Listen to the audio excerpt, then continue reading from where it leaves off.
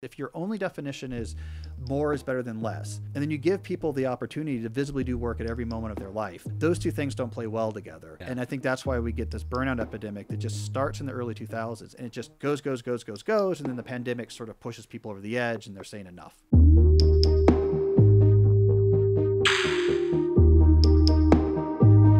There's a Latin expression you probably know it. You know, uh, festina lente. Yeah. I wrote about it. Is it in the book? I, don't know if it's see in the book. Uh, I wrote a, an essay about it though. Someone sent it to me. I was like, Yeah. this is very Ryan Holiday. What's the Emperor Hadrian's favorite expression? I looked up all the different extant artwork Yeah. the Festina Lente artwork, all the different diagrams, the, the the pictures that people would use for it. means make haste slowly. I, Yeah. I, I thought of, that's the essence of the idea of slow productivity, right? Yeah. Which is that sometimes rushing is the slowest way to do it, and sometimes going slowly is the fastest way to do it. Yes, exactly. See, I think I came across it after I wrote the book. Oh, really? Yeah, so I was like, this is it. Yeah, Yeah. this is it. I was like, man, we could have had this right up front. I could have been talking about Hadrian. It'd be Yes. great. Yeah.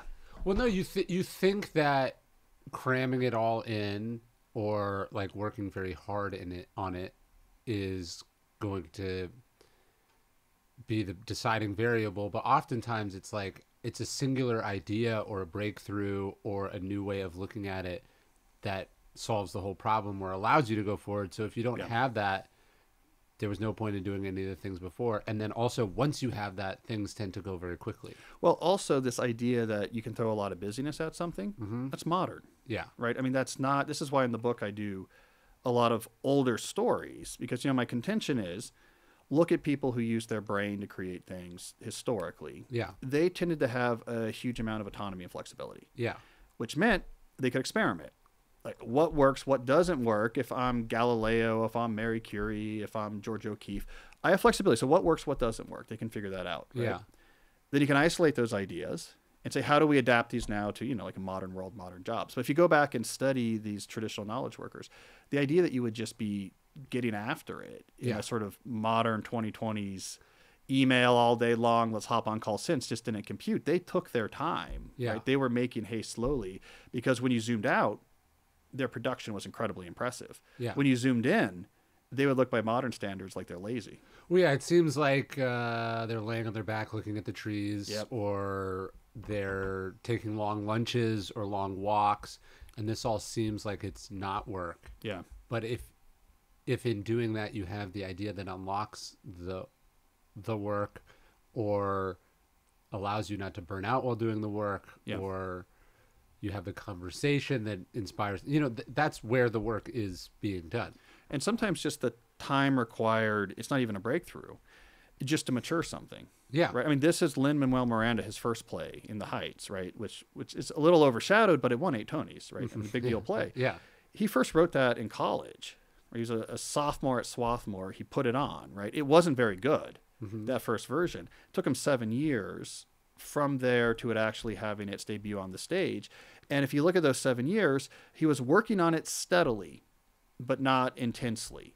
So they would come back to it. He was working with a couple of alums from Swarthmore who had a theatrical company. And what they would do is on a regular basis, we're going to bring in actors and we're going to read your latest version of the book. Yeah. Uh, but then a couple months will go by, and then we're going to bring him back. So you have to keep working on it. Yeah. Keep maturing this. But he was also doing a lot of other things, right? He was touring with his freestyle rap group, Love Supreme. He was writing a restaurant column. He was substitute teaching. Uh, but he had to take that time because he was 22. Right? Yeah. Like, like he wasn't ready. If he just said, I'm going to just go after it, I'm going to go into debt, spend six months after college, let's make this play work, it wouldn't have worked. He Yeah. needed seven years, coming back to it again and again as he matured creatively. The play matured, and then when it was ready to go, uh, it really popped off. And then it, it was a really quick year of development, and this thing was on Broadway. In Discipline Is Destiny, I contrast these two Civil War generals. Uh, there's George McClellan, who's Yep. sort of always preparing. He said he never had enough supplies. Never fought though. yeah, and and he would never he would never sort of do the thing. Yeah. he was he would he would get started. He'd start moving, and then there'd be some breakdown. It would take him like five days to cross a river. He he uh, Lincoln said he's got the slows, right? And so so you would think you know like his uh, the contrast would be like the one who's always aggressive, always moving, and it is. But I was really interested in this General George Thomas, who they called him Old Slow Trot, and he was seemingly slower than McClellan in Right. a lot of ways. Yep. But when he was preparing or revving up, he was actually doing that. Yeah. Right? McClellan was using it as an excuse. He he he didn't actually believe he could win once he was in motion. He was hoping he kept believing there would be this one singular decisive battle that would decide everything. And then also I think deep down he he didn't actually want the North to win the Civil War. He wanted some sort of negotiated settlement that would preserve slavery.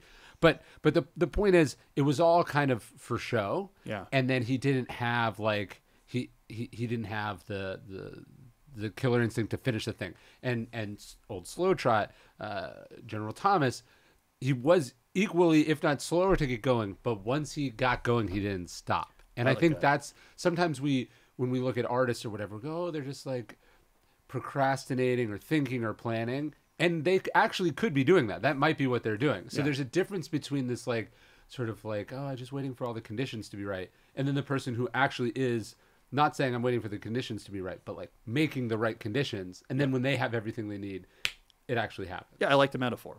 Right. Yeah. Yeah. You you you're making progress towards the objective. It might be slow, but it's actually progress. And that's Lin Manuel Miranda. If we go back Yes. to that example, he wasn't just sitting there in those seven years thinking, "I'm going to get. I'm I'm letting it marinate, but like one day soon, you know, I'm going to write this play and make it right." He was working. Like they kept doing different shows, and they would. Uh, this is goes through a lot of the different stories. Yeah. Pretty systematically figuring out what's not working. Yeah. Like we tried this, this is not working. How do we fix that? Like what unlocked that particular play was Miranda was good at the music. They're doing something innovative with the music, but the book wasn't very good. And they eventually brought in another playwright, and she was fantastic. She went on to win her own uh, Pulitzer in 2012 for a completely different play. They brought in the talent when they figured out, oh, this isn't what was working, right? Then he met his music director. Okay, now things are really starting to. But you uh you don't get there unless you're you're I'm slowly but steadily. Let's try. This isn't working. Let me try that. That is working. Oh, let me do a little bit more. Oh, this is a little bit short. Well, what's the best way to fix it? Well, let's find out. This might take us a year to figure out how does one fix this. So you never stop. But I like slow trot as a metaphor.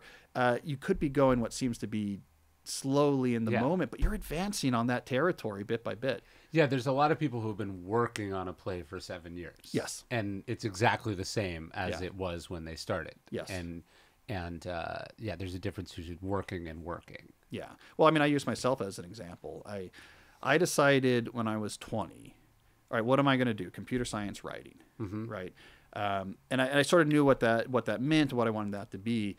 My entire 20s are just slow trot, right? Yeah, yeah. You know, uh, I'm writing uh, paperback original books that, Yeah. that aren't at the time making a big splash, but I'm honing the craft. I'm in grad school, right? Yeah. So everyone goes to grad school, but I'm, I'm honing the craft, right? Sure. It's not really till I get to 30 that anything I think that would be impressive to the outside world happens. My first sort of real hardcover idea book, uh, front table book, is comes out when I'm 30. I get my hired as a professor when I'm 30, Yeah. right? So it's it's 10 years. I never stopped right writing the next book. I'd take it on magazine commissions where I would try to polish specific writing skills I thought I wanted to improve, trying to pub, you know, as an academic, like, build those skills, publish new papers. Now try to publish papers that win awards. It's slow and steady.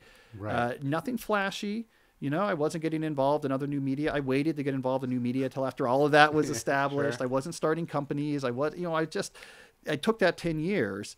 And then after that 10 years, oh, things are kind of clicking and interesting, you know, interesting options begin to pop up. But what's weird about that is it, it's sort of the same contrast you mentioned earlier, which is like it, day to day, it doesn't look like they're being productive. But then you look at the output, and very clearly they were. Yeah. So you're like, my 20s, I'm just, blah, blah, blah, it's, it's slow. But then, like, to be a professor at 30 is an accomplishment in and of itself. to publish your first book by 30 in and of itself like people like you're so young Yeah. right? So there's this weird thing where it doesn't seem like you're being productive or you're uh, at, you know operating quickly or or sort of beating the curve. But then when the results come in it actually does look that way. So it's this it's this weird it's this weird contrast where uh, yeah it, the the day-to-dayness of it you can't see where it's leading but it is leading where you want it to go. I mean, it's a time scale issue, right? What does that like, mean? Like, what time scale am I measuring productivity on? Hmm. So when you say uh, I'm measuring productivity in my 20s on the decade time scale. Like I want to look back at my 20s and Yeah. say I'm proud of what I did in my 20s. Yeah. That makes a random Tuesday seem a lot different Yeah. than if your productivity time scale is like this week I want to get after it. Yeah. Right. So if that's your time scale, like I better fill today. And then you're going to start coming up with activities that's going to allow you to be busy, right? Because I need to be productive today. So, okay, if I uh, add this into my life and that into my life and have a bunch of coffees with other people and go through all these ideas, then I'm going to feel productive on the daily scale. But when you get to the 10 year scale, you're going to say, eh, you know, I had a lot of sort of like ventures and things and this and that, and then nothing really added up. So, I mean, a lot of this, it's a time scale issue. I was thinking about that the other day because I was dropping my son off at school and it was sort of taking longer than usual. And I started, I like, I like to be like sitting at the desk and writing by like nine ish. And, and by nine ish, I mean like nine. Yeah. And so like, it was like, okay, this is going to be one of those like nine fifteen, like Yeah. nine thirty days because this thing that's out of my, and so I started to feel like not insecure, but I felt like rushed or, or anxious about like, I have to get this thing over so I could do this other thing because I can't be late, whatever. And Yeah. then I was like, okay, but what if I instead of thinking about this like today, like what time am I supposed to be sitting there writing? What if I just think about where I'm going to be at the end of having written the book, and I won't be sweating whether I was there five minutes earlier, ten minutes earlier, Yeah. twenty minutes later, even if I skip today entirely and I just you know decide to do this family thing. And so that was like helpful. It's like okay, that it just let, let me turn down the stakes here and just think about it in light of a larger time scale. Yeah. At the same time, that's also the logic that people who don't get things done Yeah. tell themselves. They go, "Oh, today doesn't matter. Yeah. Like uh, the the the goal I set in my head or the the commitment I made, it doesn't matter."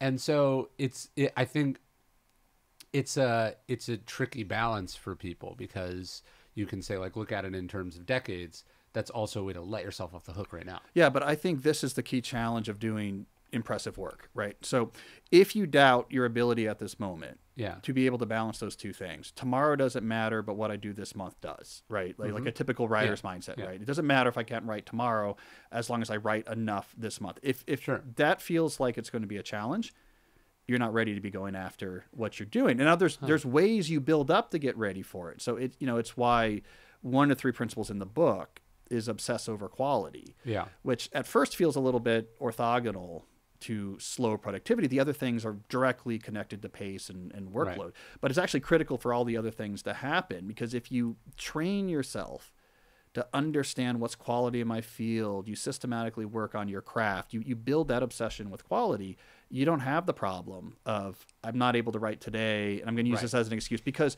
you're obsessed with I want to write something really good. Yeah. You know, this is what I do. What what's going to make me happy is having finished this chapter this month. You feel you probably feel the same way I do when I can't write for a few days. Uh, there's a compulsion of like Yeah, I like, can't wait up. to get back and like the the work Sure. on this. And so I put that in the book because this I think is a problem a lot of people face. If you just jump right into like I'm going to be the greatest whatever, and Yeah. now you're procrastinating all the time, that might be an honest signal from your brain, which is like we're not really ready to do this.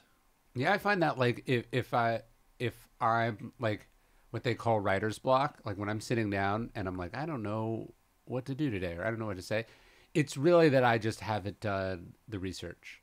Like if I if I have found if I have gathered the materials necessary to do the thing, Yeah. doing the thing is easy. Yeah. When I am, I have uh, I have ta taken shortcuts or phoned it in or, um, you know, rushed things. Then I'm like, I don't know, like that Yeah. that. So so Steven Pressfield obviously talks about the resistance.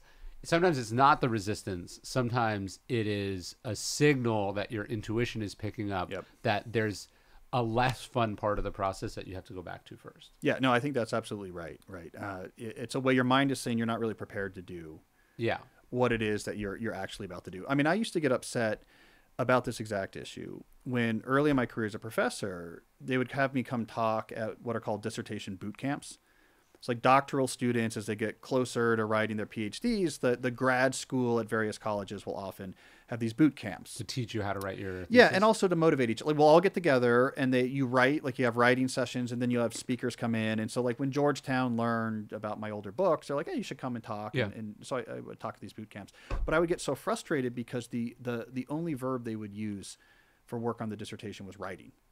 Right. You got to get your writing hours in. How Sure. many pages did you get in? How many words did you get in? And I would always come in and, and sort of give this righteous speech of like, well, writing is part of it, but what about the thinking? What do you have to say? Yeah, Yeah. that that I mean, it's not just sitting down and writing. Don't make that the verb. If you really want to be a professional thinker, which is what these students were trying to do, you have to have a much more sophisticated relationship with thought. Yeah. You know, now I was a mathematician essentially, so writing was really kind of the last step of that type of dissertation. Like by far the harder part was solving the proofs. Uh, the write up the proof was not. So I had this extreme vision of it that I was trying to generalize. But so we can't. The writing is expressing an idea. That idea has to be interesting and right. And how you form that idea, some of it happens on the page, but you also have to think. I think very little of it happens on the page. I think I think this is a much more generalizable thing than maybe you're giving yourself credit for because people are. It's like, look, you don't just start building a house. Like Yeah. you have plans for the house first. You know where everything goes, and you know all the materials that you need first.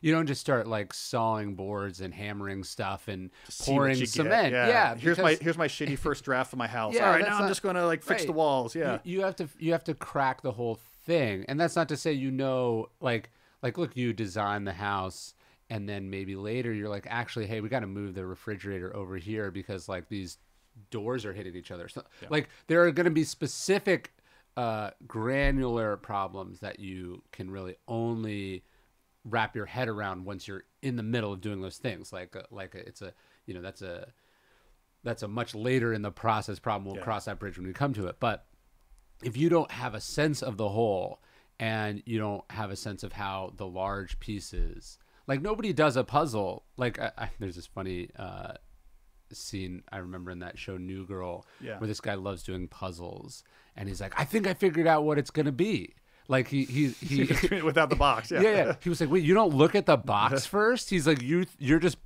no, like the you're making this, Yeah. you know." And and like obviously that might be a more intellectually challenging way to do a puzzle, but it's also insane. Yeah. You know, like like if you sit down to write a book or start a company or um and and you don't know what it is that you're doing, you're just like, how can you know what the next right thing is? You know who I think ruined ruined this for people? It's novelists.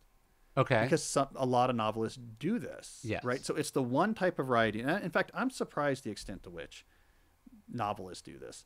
A lot of novelists excavate the story yeah. as they write. So Stephen King famously does this, right? He talks about that in On Writing. Uh, but a lot of literary novelists do it as well. They don't plan it out. Um, I was talking to a thriller writer who writes mysteries, right? You would think a mystery writer needs to understand in advance, Yeah. like this is the twist. Yeah. That- no, she just rocks and rolls. She's like, I figure it out. Yeah. I figured out as I go along, right? So I think this has pervaded culture. So anything that's adjacent to writing, we're thinking about Stephen King on writing. Mm-hmm. Yeah. Like, yeah, I'm just going to. We think of a musician writing the song in seven minutes, but we're not thinking of like Taylor Swift who who Yeah.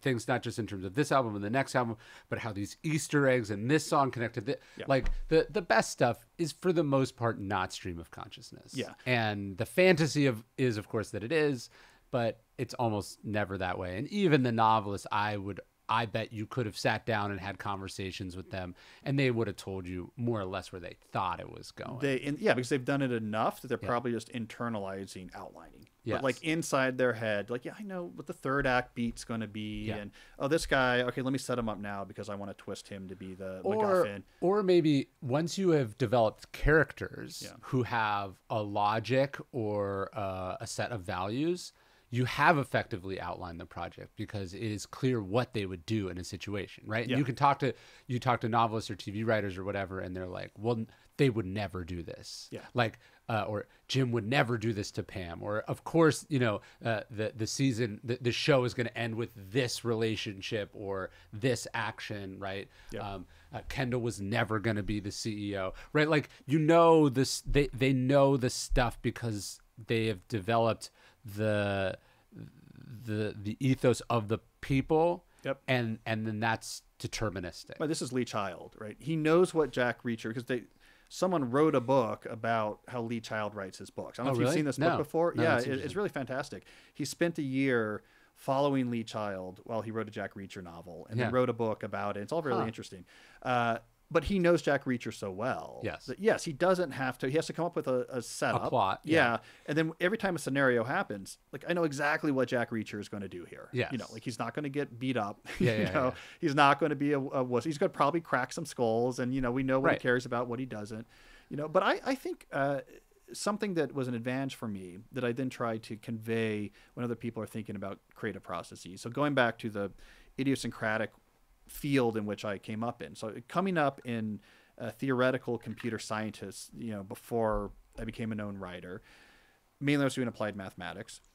The core of that is proofs, and there's this feeling that our brain is wired for when the pieces click together. Yes. So you get very familiar with this feeling of the pieces have clicked together. Oh, that works. Even if you haven't worked out all the steps, Yeah. it's like boom, right? Mm-hmm. That exact same feeling is how I approach writing, right? It's the same thing when I'm walking and thinking, like, how is this chapter going to work? Oh, I see. If I move this here and bring in this thing here and I pull this out, it clicks and it Yeah. feels the same as when when a, a proof clicks. Nothing about that process involves hands on a keyboard. Uh, Right. But it's something I think that's foreign sometimes when people are new to writing. It's it's this sense of you, you're you are planning and going for a sensation of rightness before you even are looking at a sheet of paper. You're thinking about this will follow this. Does this idea make sense? Is this a bit of a MacGuffin? Yeah. Is there a red herring here? Like all these movie terms show up in nonfiction writing, as you know, right? I mean, why am I introducing this concept if it contradicts what comes later and there's no resolution of why it does? Like that's going to sit in just going to be grit in the gears of someone who's Yeah. reading. And so when all that clicks in your head, then you know, okay, now I'm ready to. Well, I've been thinking about this because I've been doing. This is the first time I've ever done interrelated books. So, Right. like most authors, uh, especially in nonfiction, you're doing on independent, self-contained projects. You're like, I'm doing a book about this. I'm Yeah. doing a book, about and perhaps you might sell one or two books at the same time, or two books at the same time. But they're usually two unrelated books, right? I just had two ideas at the same time. They wanted to buy them, but to sell this series on the cardinal virtues was weird because first I've had to I had to go. Okay, the next four projects I'm doing are outlined. Yep. The order I'm doing them is outlined. And then I had to think on the first one, you know, okay, how do I crack this book on courage? Who are the the first the the first thing was what are the three parts and then who are the main characters in those three parts because that's the structure I was doing. But then I had to go, okay, does this thing that I think is an important trait of a, you know, a, a virtuous person is this actually in courage or is this actually in justice? Is this a self discipline thing or is this more rooted in wisdom? And so, it- because if I make a decision in book one, it has implications Yeah. for uh, book two, three, and four. And that's something I'm, I've decided. I came up with it maybe in the discipline book, but I decided to move it to the wisdom book, which was a form of wisdom and talent and i think it fits into this idea of, of like truly being productive is like an awareness of downstream consequences or how moving this thing Yeah. changes these other things. Um, and people who don't who are too rushed or frenzied or they haven't stepped back and gotten a, a larger perspective are not able to do that. So so like you could be talking to an employee and go ah sorry uh, tuesday's thing isn't going to the email or that that thing isn't going to work and you take it for granted that because you've touched this thing Yeah. all these other things now have to change but they're they just do this thing. It's like hey if i like hey you're doing my calendar and then I, I just told you like actually i have to get on a plane on thursday. You have to cancel everything that was in the Yeah. calendar on friday right? And that that requires an ability to see how things are interrelated. And you have to have a sense of the whole what you're trying to accomplish to know what they're related to and leading up to Yes. So now we're getting really far away from let's just rock and roll yeah, and yeah. start. Just what are you doing right now You know what's this is a bit of a divergence, but I've been working on this article for the New Yorker, an artificial intelligence Yeah. article. But this exact distinction comes up, and maybe this will be out by the time this interview airs.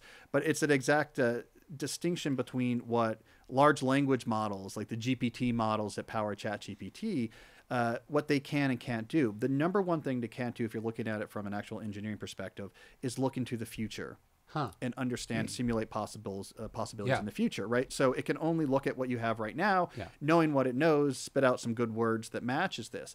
And so the future of AI are these systems where you have a language model and then you have these simulators Huh. right? And the technology comes out of game bots, right? This is how you win at chess. It's how you win at Go. It's how you win at checkers with a computer. You have to look into the future. Yeah. Well, if we do this, what might they do? What might Yeah. this do? Uh, and so generalizing that is what's needed for AI to look anything like we might actually think of as a human intelligence, right? So, like in 2001, HAL, right, the supercomputer, uh, won't open the pod bay doors, right? So the Dave is like, open the pod bay doors, and Hal knows like this. You're you want to disconnect me. Yeah. No, how does he know that? Well, he has to be able to See into the simulate. yeah. Well, if I do this, and you're going to do this, and this Yeah. is something I don't want you to do. So actually, uh, the the kind of the takeaway here is simulating the future uh, in the article is core to how humans think. Yes. And it's like one of the reasons why there's a big gap between you know Chat GPT and a human is seeing the implications of things in the future. A bit of a divergence, but it's it's No, no, no. interesting though. I mean, you think like game theory would be this thing that like Aristotle was talking about, Yeah. but it's like really recent. It's von Neumann, yeah. Yeah. Uh, I talk about, I tell the story of the Cuban Missile Crisis in Stillness is the Key, which I think is another example of, of this idea of stepping back and seeing the big picture. Like the the military advice to Kennedy is unanimous. Like bomb Cuba and like you cannot wait one more second until you Yeah. do this. Like the future of humanity depends on you basically wiping Cuba from the map. Yeah. And only Kennedy, who's not trained in, you know, uh, these things, goes, but what will the Russians do? Yeah. You know, and and the ability to just think like, well, I'm going to do this, and then what they are going. He's thinking, what are the people in the room with Khrushchev telling him? Yep. Right. And obviously, they gave him bad advice because the idea that the United States is just going to allow there to be uh, uh, missiles on Cuba was like ridiculous on its face. But but kennedy realizes like he has the same hardline advisors that i do. Yeah. and he steps back and and to his credit like we call this the 13 days. Like it could have happened in 13 minutes. You Yeah. know what i mean? Like he he says we need time to think about this and they both finally do. But but he's he's he has both the empathy the self-control the wisdom also the sense of like hey if we screw this up we're all going to die Yeah. to go like yeah my best option is this Yes. but your only option after I use my best option is the worst option. Yes. And we're not going to walk away from that. Well, I'm going to complete the circle then, because uh, so part of what Kennedy, coincidentally, compared to the last story, part of what he was doing in this time is in the Kennedy White House. They were a big fan of this new board game called Diplomacy, Huh. right? Which was it's a board game. I don't know if you know it, but it's sort of like Risk. It's a World War One Europe, but the key to diplomacy is before every move, all the players talk privately with each other right so you have these one-on-one private conversations you're making deals and alliances you're backstabbing it's all relationships Yeah. and then after you talk to everybody everyone writes down their move and gives it to an arbiter who then does all the moves and you see hey was i betrayed or this or that so Yeah. uh, kennedy was really into this game supposedly kissinger the lore is like would train by playing this game to get ready for like his realpolitik role as secretary of state You know what's funny? You can see these notepads from Kennedy Yeah. during the missile crisis. And I'm just thinking of this as you say it right now. What he writes diplomacy, diplomacy, diplomacy, diplomacy. Like he's just writing it been playing this game Yeah, so he's probably that's probably what he's thinking. So, so, but here's what's interesting about it. So, in, the, in this article I was working on, the what was interesting, what it's about is, uh, so a group of engineers at Meta created an AI that wins at diplomacy, Okay. right? So they they're using web diplomacy server. People don't know they're Sure. playing against uh, Yeah. they don't know they're playing against a computer. Uh, and how did that work? Is that the only way this could work? And I talked to some of the engineers at Meta. Is they they at first tried to just train up a language model like a GPT-4 to just know a lot about diplomacy Yeah. and like this is a good move based Yeah. on other moves I've seen in the past. They Sure. said it's it's terrible, right? But when they added in a future simulator, right? Because the uh, the, the the main engineer on this had had come up uh, winning at poker. He built the first bot that actually beat professional poker players, Okay. right? So he knew, and that's Sure. all simulating moves in the future. They put these two things Yeah. together. That's how they began to win at diplomacy with AI. Interesting. Is that they had the language model could say, here's what the other players just said, and here's what I think this means, and then a simulator model that was figuring out. So if this happens, what would they do? And if well, if they're lying though, what would happen? And it would work through the possibilities. You put these two things together, now you can you can play diplomacy well. So yeah, so it all connects. Yeah, I was just I'm writing this story in the book I'm doing now, and there's sort of a controversial figure in it, but I really want to include the story. And so, like, I think earlier on in my life, uh, like let's say when I was obstacle, I'd just be like, I like the story, I'm including it. Yeah. And now, knowing that okay then you get asked about it or then it doesn't age well or whatever i'm like okay what is the footnote that i have to put here to anticipate Yes. the objection and address it and you have a good one i forget who you're talking about Les Uh, Moonves, maybe. yeah Yes. no Les Moon, no there's someone else. that was else one we thought about. Yeah. there's someone else you mentioned um, who wasn't good. I forget who it was, but it was interesting. You were like, uh, oh, um, someone who who uh, marries their Mitch, uh, Ian Fleming. Oh, Ian Fleming. yeah. Yeah. you're like, hey, Yeah. like I'm only using him in this regard. Yeah. I are I do know about the other stuff. Not a great just- husband. Yeah, I Not know about the other stuff. I'm just choosing not to mention. it. This is not mes- necessary for the story. Yeah. But like, that's to me that's a good example of uh, aware of downstream consequences. Like you're like, I've done this enough times. I know if I do this, a potential reader objection is is why. Yes. So if I do this in the interim, I can preempt that, and then we can just move on. Yes, which is by the way all nonfiction writing now Yeah. is like because there's a whole segment there's a whole segment of review strategy which is if, if I have an objection my review is sophisticated. Yeah. So it's like a lot a lot of what we do these days is having to play defense against that, but that's insider baseball. No, no, no. Of course. Well, okay. So I want to talk about something that I thought about in the book because you tell the story of Merlin Mann, and he has this sort of breakdown in Box Zero. Yeah. I am curious, as I I've I've read that story. I hear people they're like, "Oh, I was burned out. You know, I was doing too much." But then I actually like look at what they did and how busy they were, and I don't get it. And then I also look at their output and productivity after, and it doesn't look that much better either. Do you know what I mean? I feel like there's there's almost this like this like competition to like claim you had this like breakdown and then you had this breakthrough and on either side i just go like show me the work do you know what i mean Right. like Right. what have you done Well, you're, you're saying someone will have like a breakdown, they'll like, I'm burnt out. yeah And then be super hustling on the other side about No, the no, no, story I- of uh, of slowing down or something like yeah, this. yeah or or just like like i just i i guess it i guess what i'm saying is when you look at the productivity space as a whole Yeah. the people who are writing about either like you gotta hustle you gotta work 40 hours a week you know or sorry 40 hours a day blah blah blah i'm like show me what you do Yeah. like show me show me the like show me the actual success because i don't see it and then on the other hand i, I see the the people who are like I, I was doing that, but now I'm doing this better thing and I'm much more balanced. And I go, also, show me the fucking work. Yeah. And I like, to me, the people I admire aren't talking about productivity that much. Yeah. And they're just like, the, the proof is in the pudding. Do you know what I mean? And I think you're a good example. You've, you've written all these books. You're talking about it, of course. But my, my point is like, to me, the, the ultimate validator of any strategy is like what's the outcome Yeah. you know and there is this whole sort of guru space and i just don't see it like you know what i mean Yeah. like the the marketing people who have never sold anything Yeah, yeah. I mean, the productivity space is.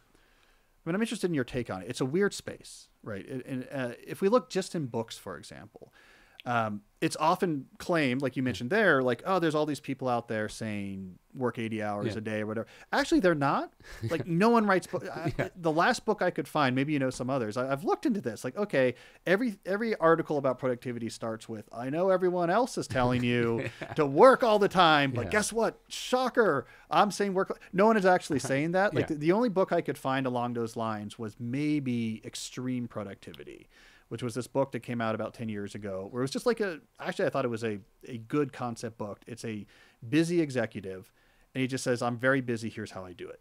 I think the hustle porn it's more thing- online i think. It's definitely online. Yeah. Yeah. you're right. It's not in books but but there is it's like when when you see it like here's my schedule and the schedule's insane. Yeah you know what i that's mean? an, it's an online thing. Yeah. yeah there, and there is a whole sort of more youth oriented instagram youtube tiktok Yeah. culture uh, and i've learned more about that and some of that has gone to weird extremes right like i used to write about how to study Yeah. when I was in my early 20s. There's a whole study YouTube space, which is now someone will live stream 12 consecutive hours of studying. It's Yeah. performance art, right? I mean, yeah. it's not at this point actually. i've never done an- anything for 12 hours and consecutively in my life it's ever sleep. It's you crazy, know? and then Yeah. people, yeah, the, the people laud it, right? So, Yeah. so I, I agree that's true. Um, the nice thing about productivity as a space, though, is that you can just study people who aren't writing about it. Yes. Right. yes, You, right. You Yeah, can actually just I mean. say, right? Like what, which is which is what I do heavily, Yeah. heavily in the book, and, and it's why, like in the, like a big portion of this book, for example, is also trying to uh, understand because it's looking more at knowledge work, understand what we even mean by productivity now because it's broken. Right, Yeah. like trying to understand how did we, what do we actually mean by productivity? We don't really know, and if we really nail it down, it's not really working well. So, what would it look like to do something different? There's there's a whole cultural critique aspect, but even that is getting tricky because I think in response to the the, the same cause, right, this this growing burnout among knowledge workers, uh, there's also been a huge rise in what I think of as the anti-productivity movement, which uh, is also heavily critical, but in a way that I think is less Like the ironically anti-work movement? It's Or- like an yeah. anti-work movement as response to the burnout, right? Right. Um, and so it's a, ironically it's kind of a non-productive critique yeah. of productivity. Well, workaholism and work aversion are two sides of the same coin. Yeah, I think so. Yeah, and it's um, culturally salient, right? So there's a there's a certain theoretical sophistication if you can maybe bring in like late stage capitalism or some other Yeah. types of like grad seminar style critique, um, but ultimately those critiques end up being pretty nihilistic, right? Yeah, it's like don't work. Yeah. Uh, it is- except for like is- subscribe to my could- Substack like- that I'm working very hard on, but otherwise don't work. Well, like I, I like those two books, the the daily routines books, Yeah. uh, or daily rituals books. Uh, they're both very good. There's the one for men and Yeah, then Mason one of women's Currey. return. Yeah. But it's like this dude's. That's the only thing. Those are the only two things he's done. Like Yeah. you know what I mean. And I always go just. That's. I I know what it takes to do a book. Like two books in ten or fifteen years or whatever is like. Not enough. Do you know what I mean? Yeah. Like they're not like works of staggering original genius. Yeah. You know, like so I'm like, what are you doing all day? And so sometimes I I, I hear about these productivity experts or these people who are like, this tip, that whatever, and I go like, but what are you doing? Yeah. And I look at it and I'm I'm I just don't I don't get it. Do you know what I mean? Yeah. And I think that maybe they look at me or or you or something and they assume we're we're working crazy hours, but it's like I'm not at all. Yeah, And I so don't. I don't get. I just don't. I'm just like. I guess I come back to this question. I'm like, what are these people doing all day? Well, I mean, I think it's why uh, it helps me for sure when I write about these topics. The fact that I'm a I'm a professor. Yeah. Um, the bulk of my writing, you know, I write for the New Yorker, where I'm on Yeah. the contributing staff, and most of it's really more about techno critique. Like Yeah. I'm, I'm a, I run the or help found the Center for Digital Ethics at Georgetown. I do a lot of thinking about technology and the way Yeah. it interacts with us and our lives, and do a lot of writing on it. Uh, and that's all stuff that's not just writing about productivity. Yeah. yeah, sure. And then I think it helps. Like, okay, uh, hey, by the way, I don't work big hours, so like, how is this possible? Let's let's rethink about productivity. Hopefully, that lands more. Yeah. As opposed to, you know, what I do is just YouTube videos about productivity, right? I mean, Yeah, there's, yeah, uh, yeah, I, I think it, it does help. Yeah, there's just there's something I don't know. It's it, I've I've said this before, but it's like I feel like ama- I said uh, amateurs obsess about tools, Yeah. and like pros just sort of do the thing. And Yeah. usually their system isn't this sort of perfect, sexy, like systemic thing. That's what I, I like in your book. It's like. Yeah, he just takes a lot of walks, or she sits there a lot, or actually she had this breakthrough on a on a vacation in the woods. You know, it, it's Yeah. it's it's never as complicated as the people trying to market some solution or new paradigm for thinking about it want you to think it No, is. they keep shipping, right? Yeah. Uh, and they don't procrastinate. Yeah. It's kind of it- like, okay, I want to, I want to keep shipping something, but it's not just putting something out the door. It's like I really am trying to make this really good. Yeah. Like I care a lot about making this good. I'm trying to grow. I'm trying to improve my skills, but also I'm going to get it out the door, and then we move Yeah. on to what's next. And I, I think you probably do the same thing. But it's always been my strategy with books, is that well, the next one is going to be great strategy. I just tell myself Yes. while I'm writing, Uh-huh. all right, I want to do this as well as possible, but don't worry about like this has to be everything. The next book is going to be the one, and and then you just ship what you're doing, right? You're like, I'll do Yeah. this one well, but yeah, then the next one is gonna is gonna win the National Book Award, right? You, you it, it allows you to it takes the pressure off. It's like okay, this just needs to be good, yes. and you try to do something good and you ship it. Yeah, there's some humility, but then also freedom and understanding that quantity is a way to get to quality. Yeah. Right. So if you're someone who sits down, you're a musician, and you're like, I have to write the greatest song of all time. Yeah, uh, you're probably not going to do it because you're not going to write enough songs, right? Yes. Like, um, oftentimes the, the the hit that defines a band or a movement or you're like this is my favorite in the catalog it's different it's unexpected it was dashed off in a few minutes as part of a larger project Yeah. right and so the the idea that you it, it's weird you obsess about quality yes but then also you do it enough that you're not precious about any one Yep. thing and so that balance too very easily i think churchill said like uh, you could spell uh, perfectionism as paralysis Yeah. and, and so if you're trying to make something amazing this work of staggering world altering genius you're not going to do it but if you're just consistently making stuff you're going to be getting better and better and you're also going to be getting more and more opportunities um, some of them very timely and some of them very timeless to express that talent or excellence you've developed and you're going to increase the chances that one of those is going to be great Yeah, I mean, my my best selling book was my fifth. My Which first book, uh, Deep Work. okay My first book to hit the New York Times bestseller list was my sixth. yes You know, this is basically my trajectory also yeah, yes it gets rolling. Yeah. But I think you and I had the advantage, if, if we're going to think just about writers, is also we started young, uh-huh right? sure. It was just like let's just get started, and Yeah. you know, I got started really young, right? I mean, I, I I signed my first deal right after my 21st birthday, okay and there's very few books they're going to let you know a 21 year old write but that was very freeing Mm-hmm. it was like okay uh, my pitch was let me write about college advice because i'm a college student and there's an angle there that kind of made sense Mm-hmm. for turning the keys over to 21 year old but that took the pressure off it's like yeah this, this is practical i'm just trying to write a book that works it's for a very narrow audience and let me write and i wrote another one right away Yeah. right? like let me just write another one like that let me try to make that a little bit better there's less pressure than if i had waited until you know i was in my 30s and established as a professor and said, here's my first book. And this is better be really smart and get a good review in the New York Times Book Review. And what if people think I'm stupid? By the time I was a professor, I'd already published four books, right? You Right, know, right, it was a it was a different. I was like, I've been out there. Uh, you know, I've been taking swings. So it, th- to be able to just get started when the pressure is lower. I think Michael Lewis's best his best book, and then I think his best selling book is The Big Short, right? and he's like twenty plus, twenty five years into Yeah. doing it when that comes out, and and and he's been writing about finance, he's been writing about characters, he's been writing about the economy, he's been writing about people, unique stories for all this time. He he wrote a lot of forgettable books between those two, and he's written some forgettable ones since, right? Yeah. Um, but the man met the moment, and that man had thousands of hours and thousands of pages of experience. Yes. And so that book probably did come together pretty easily, and he couldn't have known, like, just where the Great Recession was going to go, just what it would mean, that it would eventually be. He couldn't have known any of that. Yep. But he was uniquely suited to do that thing because uh, he'd done all these other things. And Lewis got started the exact same way you and I did, right? So my first book, why are they going to give me a deal? Okay, to write about students. Your Yeah. first book, it was writing about your specific Yeah. professional experience you had gone through. Trust me, I'm lying. Yeah. Lewis's first book about his experience at Salomon yeah. Brothers. Yeah, Yeah, right. sure. So it's like get in the door, however you can, right? And Yeah. so he did that, and then that got him Vanity Fair. He was doing election coverage. People forget this, but Yeah. Like he was making his bones on character writing,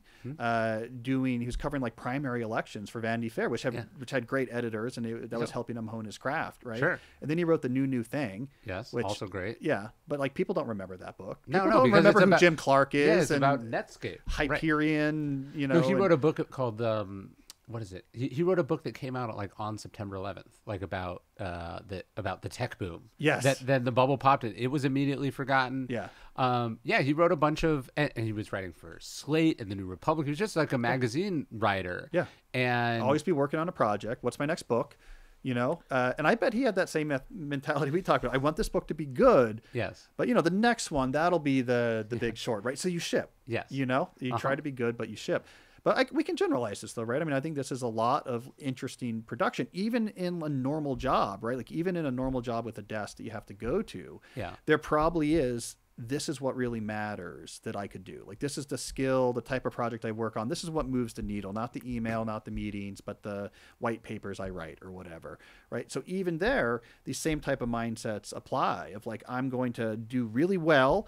I'm going to produce great stuff here. I'm going to keep pushing myself to get better, but I'm not going to get too precious with it. And if I just start that, I'm Michael Lewis writing books two for six. uh, I'm going to end up at some point with at this new level of skill. I'm going to be indispensable, right? So this sort of slowly productive approach, I think, generalizes pretty far. That's a really important skill. Like, what is the stuff that matters, and what is the stuff that doesn't matter? Like, how how do you know what actually is important? Because a job has a whole bunch of responsibilities. Uh, there's certain obligations that do matter, certain ones that don't. There's certain traditions or best practices that are important, and other ones are just sort of ritual or you know uh, uh, inertia or the status quo. And so knowing, yeah, hey, these are the like like one of the rules I have as a writer. Instead, like people go, how many uh, you know pages a day do you write, or how many words a day do you write? I I think those are totally nonsense metrics because first off. Uh, all books are of different lengths, Yeah. right? So if I'm a novelist, I have to turn in a hundred or two hundred thousand word book, right? Even that's a huge difference, right? Yeah. Like there's short novels and long novels. Like the but every book contract has a different length word count that you have to deliver, and mine's like between fifty and sixty thousand words, which is a very short book, right? Yeah. So if I'm someone who writes four thousand words a day, like some novelists do, like it's not going to take me very long to write Yeah. these books. Um, so so word count doesn't really make sense. Pages don't really count because are you counting like in Yeah, Google Docs or page, Word or yeah, you know that's nonsense. I and, and so I just I just say I have to make a positive contribution every day. Like I have to do something that moves the manuscript forward in some way. So that could be I generated a bunch of new pages. That also could be I figured out the subtitle. Yeah. You know, that could be I deleted a bunch of pages. I moved things around. I found two chapters actually are about the same thing and I decided to combine them. And so all I have to do is make a positive contribution every day. And so I have a vague sense of what is a positive contribution and then what's just like fiddling. But like knowing if you're a stock trader, Yeah. you know, or, or uh, in a, if you run a, a hedge fund or you're a venture capitalist or I don't know, you coach a football team. What is like, and you're saying, okay, I, what's my positive contribution today? Do you actually know what that is? It's really hard. It's, probably not that I was here from this time to this time. It's probably not measured by I was in this many meetings or I yelled at this many people. It's got to be like, oh no, no, no! I figured out that on. Uh, I- I figured out that Jordan uh, was it Kobe or someone. They were like, I figured out Kobe goes to his left, but when he goes to his right, he shoots, you know, eleven percent worse from the field. Yeah. And so all I have to do is so that itself is a huge breakthrough. And then the next day, I'm just going to figure out how am I going to make this person go to their right Yeah, instead of the left. yeah. What do I do with my That- footwork? Yeah. That that's the, that's Yep. what matters. Not how many weights did you lift. Not, what's the things that matter that move the needle, and to be able to figure that out. That's almost everything. That is so. it- I think it is almost everything, and and I think it is hard, harder than we think, and also undervalued. Yes. Right. Like it really is everything. But here's what happens: uh, people don't even try to find it. Right. Because what people do instead is they write the story of what they want to be true. Okay. Like, I think this is the, the the biggest obstacle to people moving really far forward on something they care about. They write a story for themselves about this is what I want to be true about what it takes to move to the next level because this is what I actually want to do. Okay. Right. So I want it to be about okay to be get my novel published. It's about like having the right Scrivener set up and and uh, N- National Novel Writing Month or doing this many words a day or whatever. Sit at this typewriter. I typewriter. gotta sit at this typewriter. or- yeah. because that's kind of fun. It's like usually the stories people come up with is uh, uh, challenging but tractable. Yes. Yeah, like it's it'll be a little bit hard, but I could do it. I can feel good about myself. And we do this all the time. It's about this or it's about that. Right. Um, I think internet culture has also really, especially for younger people, uh, inculcated this idea of the like the shortcut. Yeah. Like, yeah, if you you, know, you got the right- you The got the right advice here, and you're going to really make your way Yeah. through. And I keep learning again and again in my career.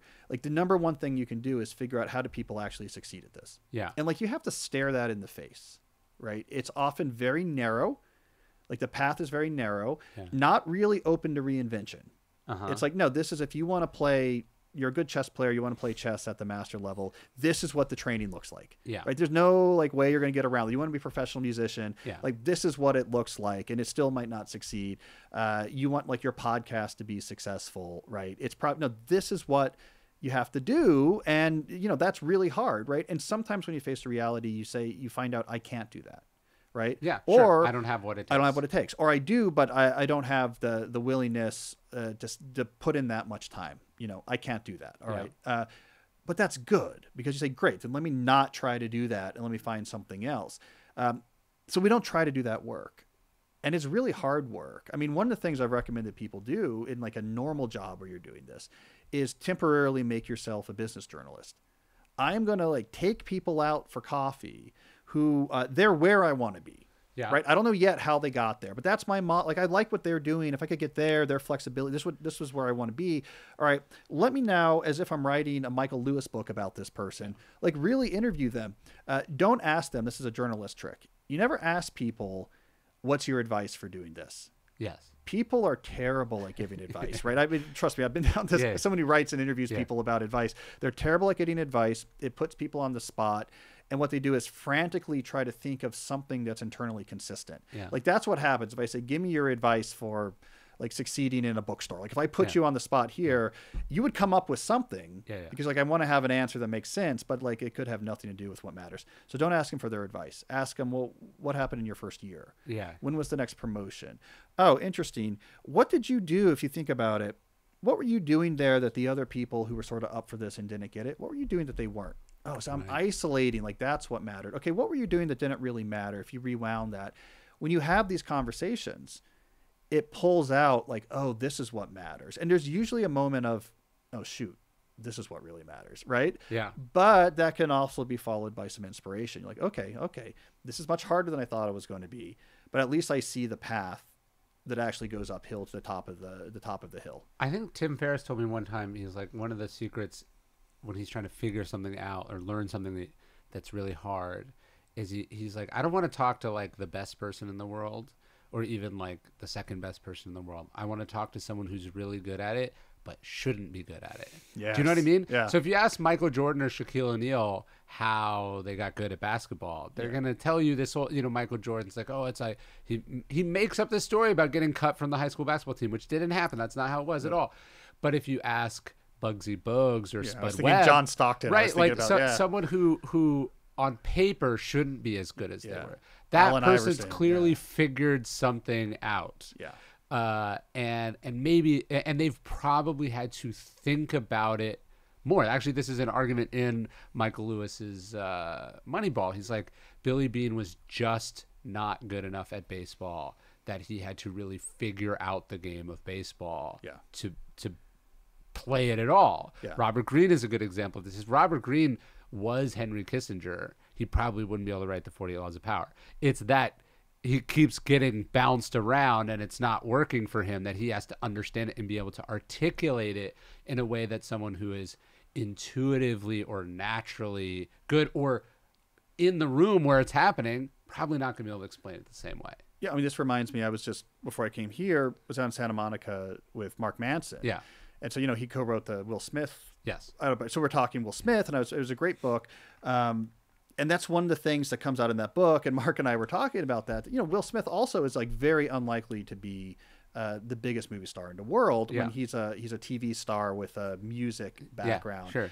Uh, but he studied Tom Cruise Huh. right? So part of why Will Smith was thinking, okay, what is Tom Cruise doing? Yeah. What's working, what's not? And he figured out a lot of things that wasn't obvious, right? So he was studying Cruise because Cruise was older and was the biggest movie star in the world. And he figured out things, for example, like, oh, the international markets. I see international box office Right. generates 50% more money. It gives you more clout. And Cruise is going to every one of these countries.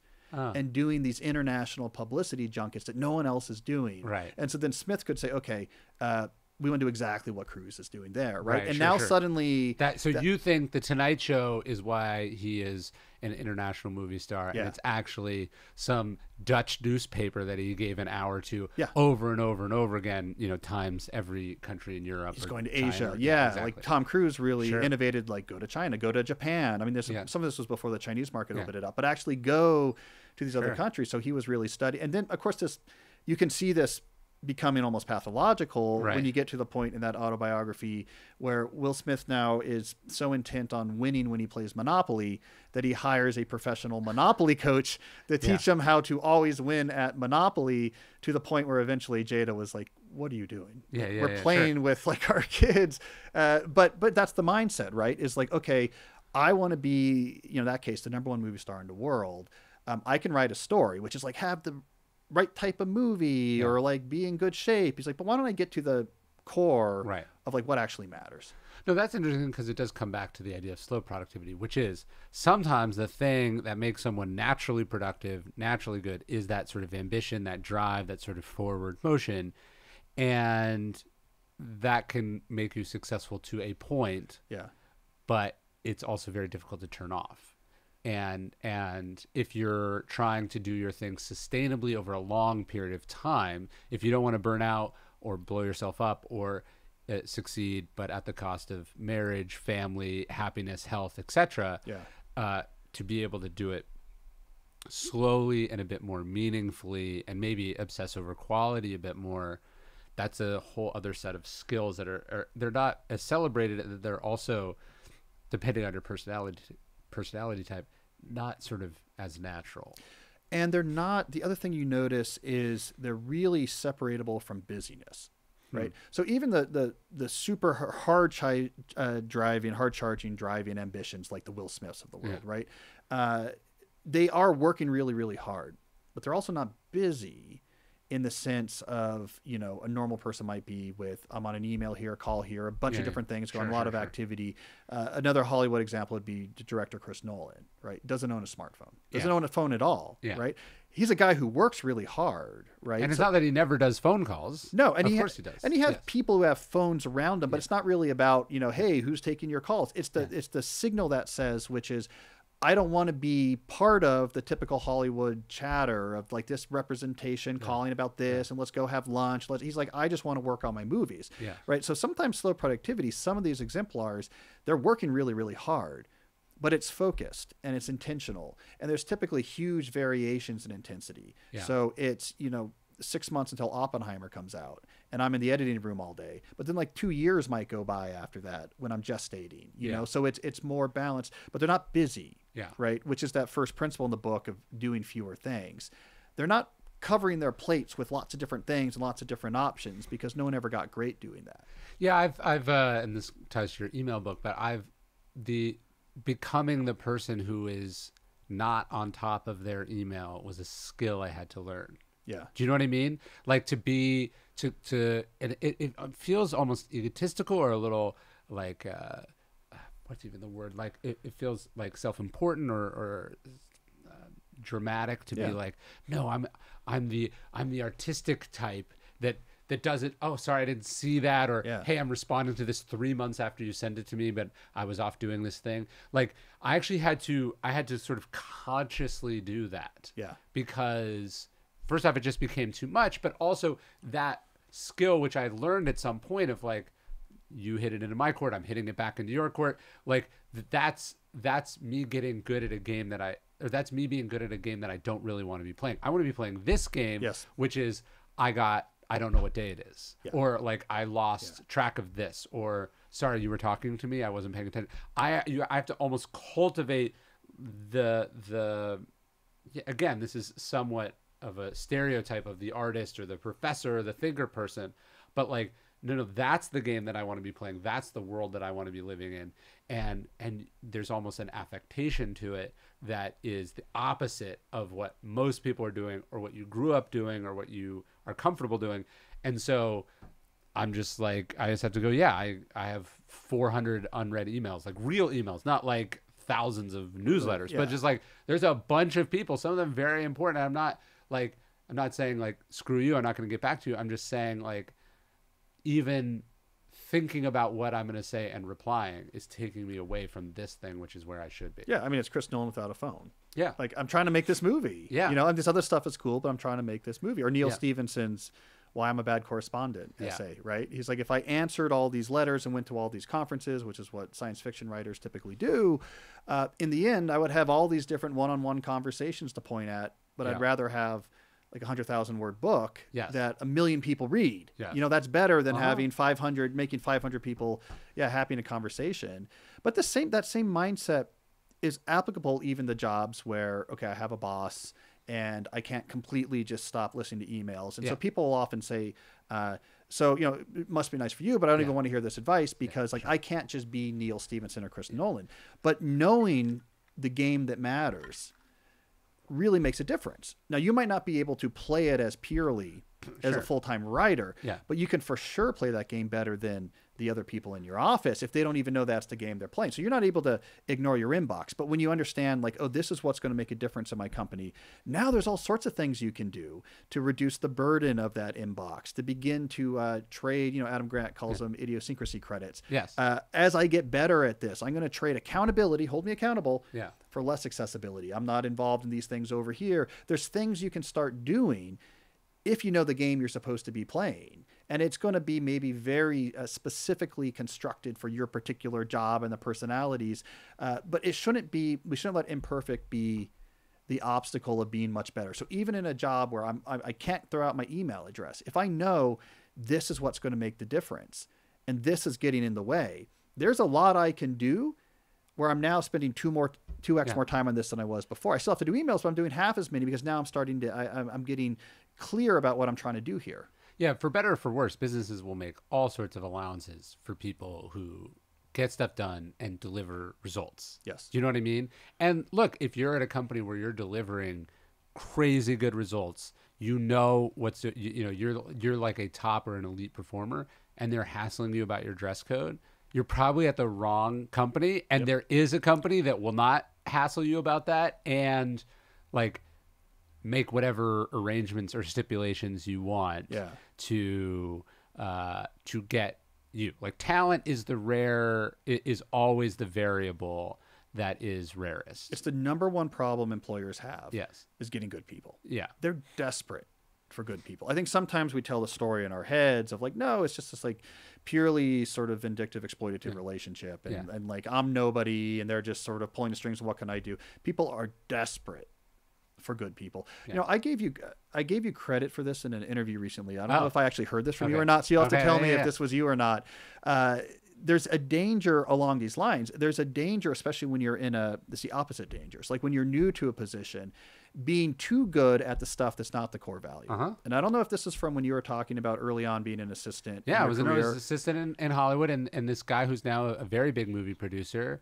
Uh, he he was like he was like, look, I was where you were. He's like, my best advice to you is like, don't be too good of an assistant. He was Yeah. pointed down the hall. He's like, that guy right there. They'll never let you go. He- he's like, he's a lifer. Yeah. And he's like, uh, there's two types. There's people who are lifers, and then there are people who are going places, and you got to decide which one you want to be. He's wasn't saying like if you want to be an assistant, if you want to be an assistant, don't uh, don't be be one. But he was saying, yeah, like if you are indispensable on the phones, Yeah. they'll keep you on the phones. But if you're holding down the phones, but you keep like giving your boss good ideas that they use in meetings, like they'll promote you much quicker. Right. So be competent. Don't be incompetent. Yeah. So be like, clearly I'm competent. Like I'm not dropping the ball and I can kind of do these things. But I'm not going out of my way to be like, hey, I foresaw that like Yeah. this is near your dry cleaner and I set up the driver to stop. Like, don't Yeah, make yeah, their life too easy.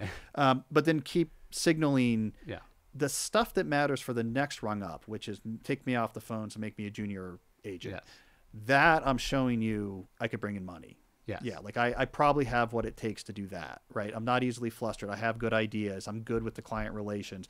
Uh, I'm okay with this other stuff. Uh, but that same, but the reason why I brought that up, and I've been bringing it up, you know, in other interviews, is because I'm thinking about this is essentially what you're doing when what you're mastering is the game of your inbox. Yeah. Like I'm, I'm, I'm going to clear this thing out. Okay, you, yes, everyone's getting what they need. I'm following up and this, and like I'm, I'm very responsive, and I get everyone answers quickly, and I'm always on my phone at all times. So you Yeah. never, you're always going to answer pretty quickly, and I'm never the thing that's going to slow down. I'm never going to be the link in the chain that makes Yeah. the whole thing pull through slower. Right. Um, you're the assistant who's great at manning the phones. Even if you have a high level job in some sense, that's the wrong game to be playing well. Yeah. Because ultimately, the CEO is not the person who was, you're so great at answering emails quickly. You're right. It's you're, you're never actually measured you- on that. You want them to go, hey, come in this meeting with me. Yeah. Like, don't just set it. You you you want to be sending the signal that like you're you have something to contribute. Yes. Not that you're you're good at getting coffee or Yeah. whatever. Or I produce when you give me a project. Yeah. Like I knock it out of the park. yeah. Like that's good. And then they you're like, oh, you're slow in answering these emails, but you know what? This is important. So Yeah. I'm going to give this report to Ryan Yeah. because like it's going to be really good. Yeah. Yeah. Like he's a really good researcher and his writing sharp. And the last thing was really impressive. Uh, so yeah, I don't care about the yeah i'm going to bother this other person over here with like the small stuff because like he's really quick at answering on emails Yeah, and by the way, that that can be someone that can be someone who who likes that and wants to be good at it. And Yeah. and the funny thing is when you find those people, uh, you're so excited to find those people, Yeah. and they can command their own you know salary and benefits and demands because so many of the people that you tend to hire or see for those positions see it as a stepping stone and don't want to be in it and there's a cost to that right because Yep. you're having to constantly replace those Yeah. people Yeah, and that's so no good either. so it's Yep. figuring the thing that you want to be good at that moves the needle for you. yeah but don't And- accidentally become an assistant Yes. when you're seven steps up the, that's what i think happens when you play the game of email Yeah. is you could be an executive, right? But you're playing the game of the assistant by like what I'm good at is answering emails really quickly and people get quick responses because ultimately there's no friction or traction on that that actually generates direct value, right? What's the thing you produced that we sold? What's the client relationship that brought in a lot more money? What is the new insight on which we built a new business strategy? None of that, it's not playing that game. So you can very high up the chain. I mean, I see professors fall into this a lot. You know, uh, this is like an assistant professor trap. Yeah. You have to know as an assistant professor, the game you are playing is publishing. Yeah. It's the only game you're playing, Yeah. right? Like that, you were going to lose your job after seven years if you don't publish a lot. That's how it works. We're going to temporarily give you this job. If by the end of seven years you have not gotten tenure, you have to go. And how do you get tenure? We solicit confidential letters from the top researchers in your field, and all they talk about is how important is his or her work. Right. That's it. Yeah. Right. You can't get tenure by teaching really well. You can't get tenure through politics because it's it's confidential letter writers looking at your research. You can't get tenure through I did a bunch of committees and I was really useful or the dean likes me or all these things people think goes on. It's your work Yeah. Your research. How important was it, right? And these letters are brutal, by the way. I've been on the other side of this. It is here are the institutions at which this person would get tenure and would not. Here are the three people that I think are most comparable to this person right now. This is two people who are better than this person right now. I would say this person is a little bit worse. Like it is, you know, Yeah, yeah, it's like the NFL combine, yeah. but with, you know, publishing papers basically. So an assistant professor has to learn that's all that really matters. Right. All right. Now, once you know that, try not to be, you know, too annoying to other people. Yeah, yeah. But Try not to be horrible at Don't be end of it. horrible. but like, this is not your game. Yeah, yeah. And uh, a big trap for assistant professors is they get stuck in the game because it's scary. The publication game is scary because you know that might not look like anything today. Right. It's, it's it's played on the scale of years. Right. So they feel much more comfortable. I'm answering all the emails. I'm joining all the committees. I'm very responsive and useful. I'm taking on Right. because they want to create a sense of like I'm doing things and I'm busy. And then when the tenure time comes, it's hey, where's your papers? Well, you could you could argue the same is true for a college student, right? So you get into the college, you're at uh, an elite university or a mediocre university, it doesn't really matter. And if you think success at the end of that four years is like what your grades are, Yeah. uh, you've probably screwed up, right? Even if you're trying to get into grad school, because really it, it matters what relationships have you formed, what things have you learned, Yeah. right?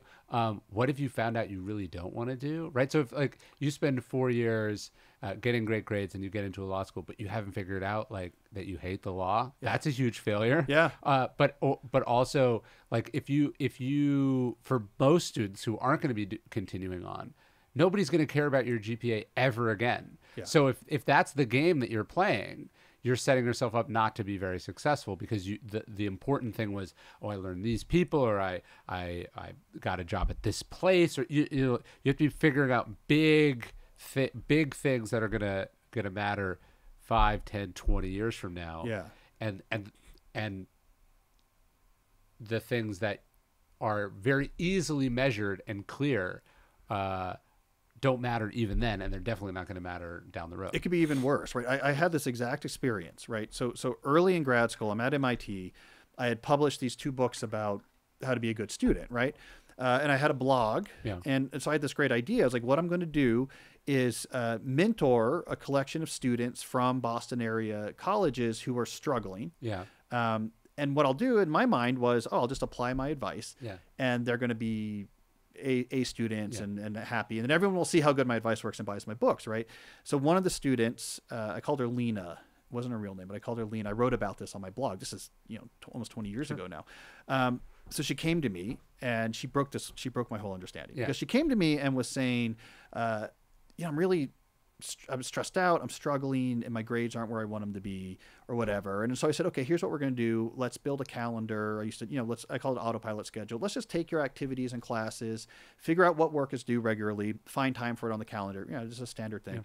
I started doing this for her, and we ran out of hours. Like I, we we, we ran out of hours for her to work because she was double majoring with a minor and had like nine different activities and like it it didn't fit so it wasn't her problem was not oh grades are what matters. It was actually uh, a college admissions mindset that said activities quantity of activities sure, sure. extracurricular. So you had all this stuff.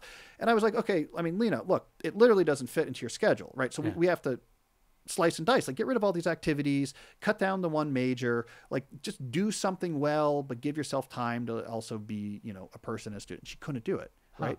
And it turned out what happened was uh, you know her whole town her whole family was like oh my god she got into mit like all of their hopes were on her shoulders and so she felt like i have to do really well here Yeah. but she didn't know the game that mattered so the Yeah. only game she knew was well the way i got into college Was by doing a lot I did a lot of things. Yeah. So she's like, if I'm not doing a lot of things, Right. how else will I signal that I'm being impressive? And I owe it to all these people to be impressive.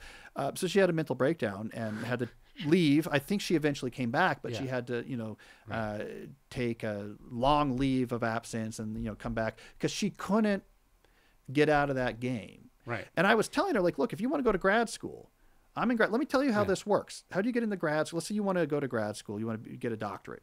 Um, you do need to have a good GPA in your field. You need to be a really good student in your field.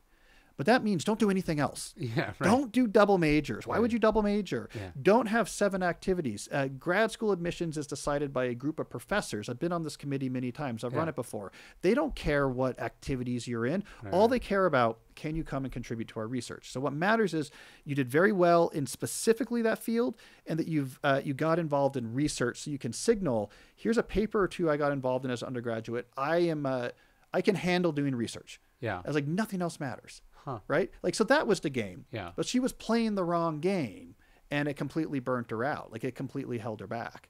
Yeah, knowing what game you're playing, that's kind of the ultimate thing. Uh, I found this with Daily Stoic early on. So when we started the Daily Stoic Instagram, we would just do like quotes every day, right? Yeah. And then um, there'd just be quotes from the Stoic, be like a, the picture of the Stoic, and then a quote.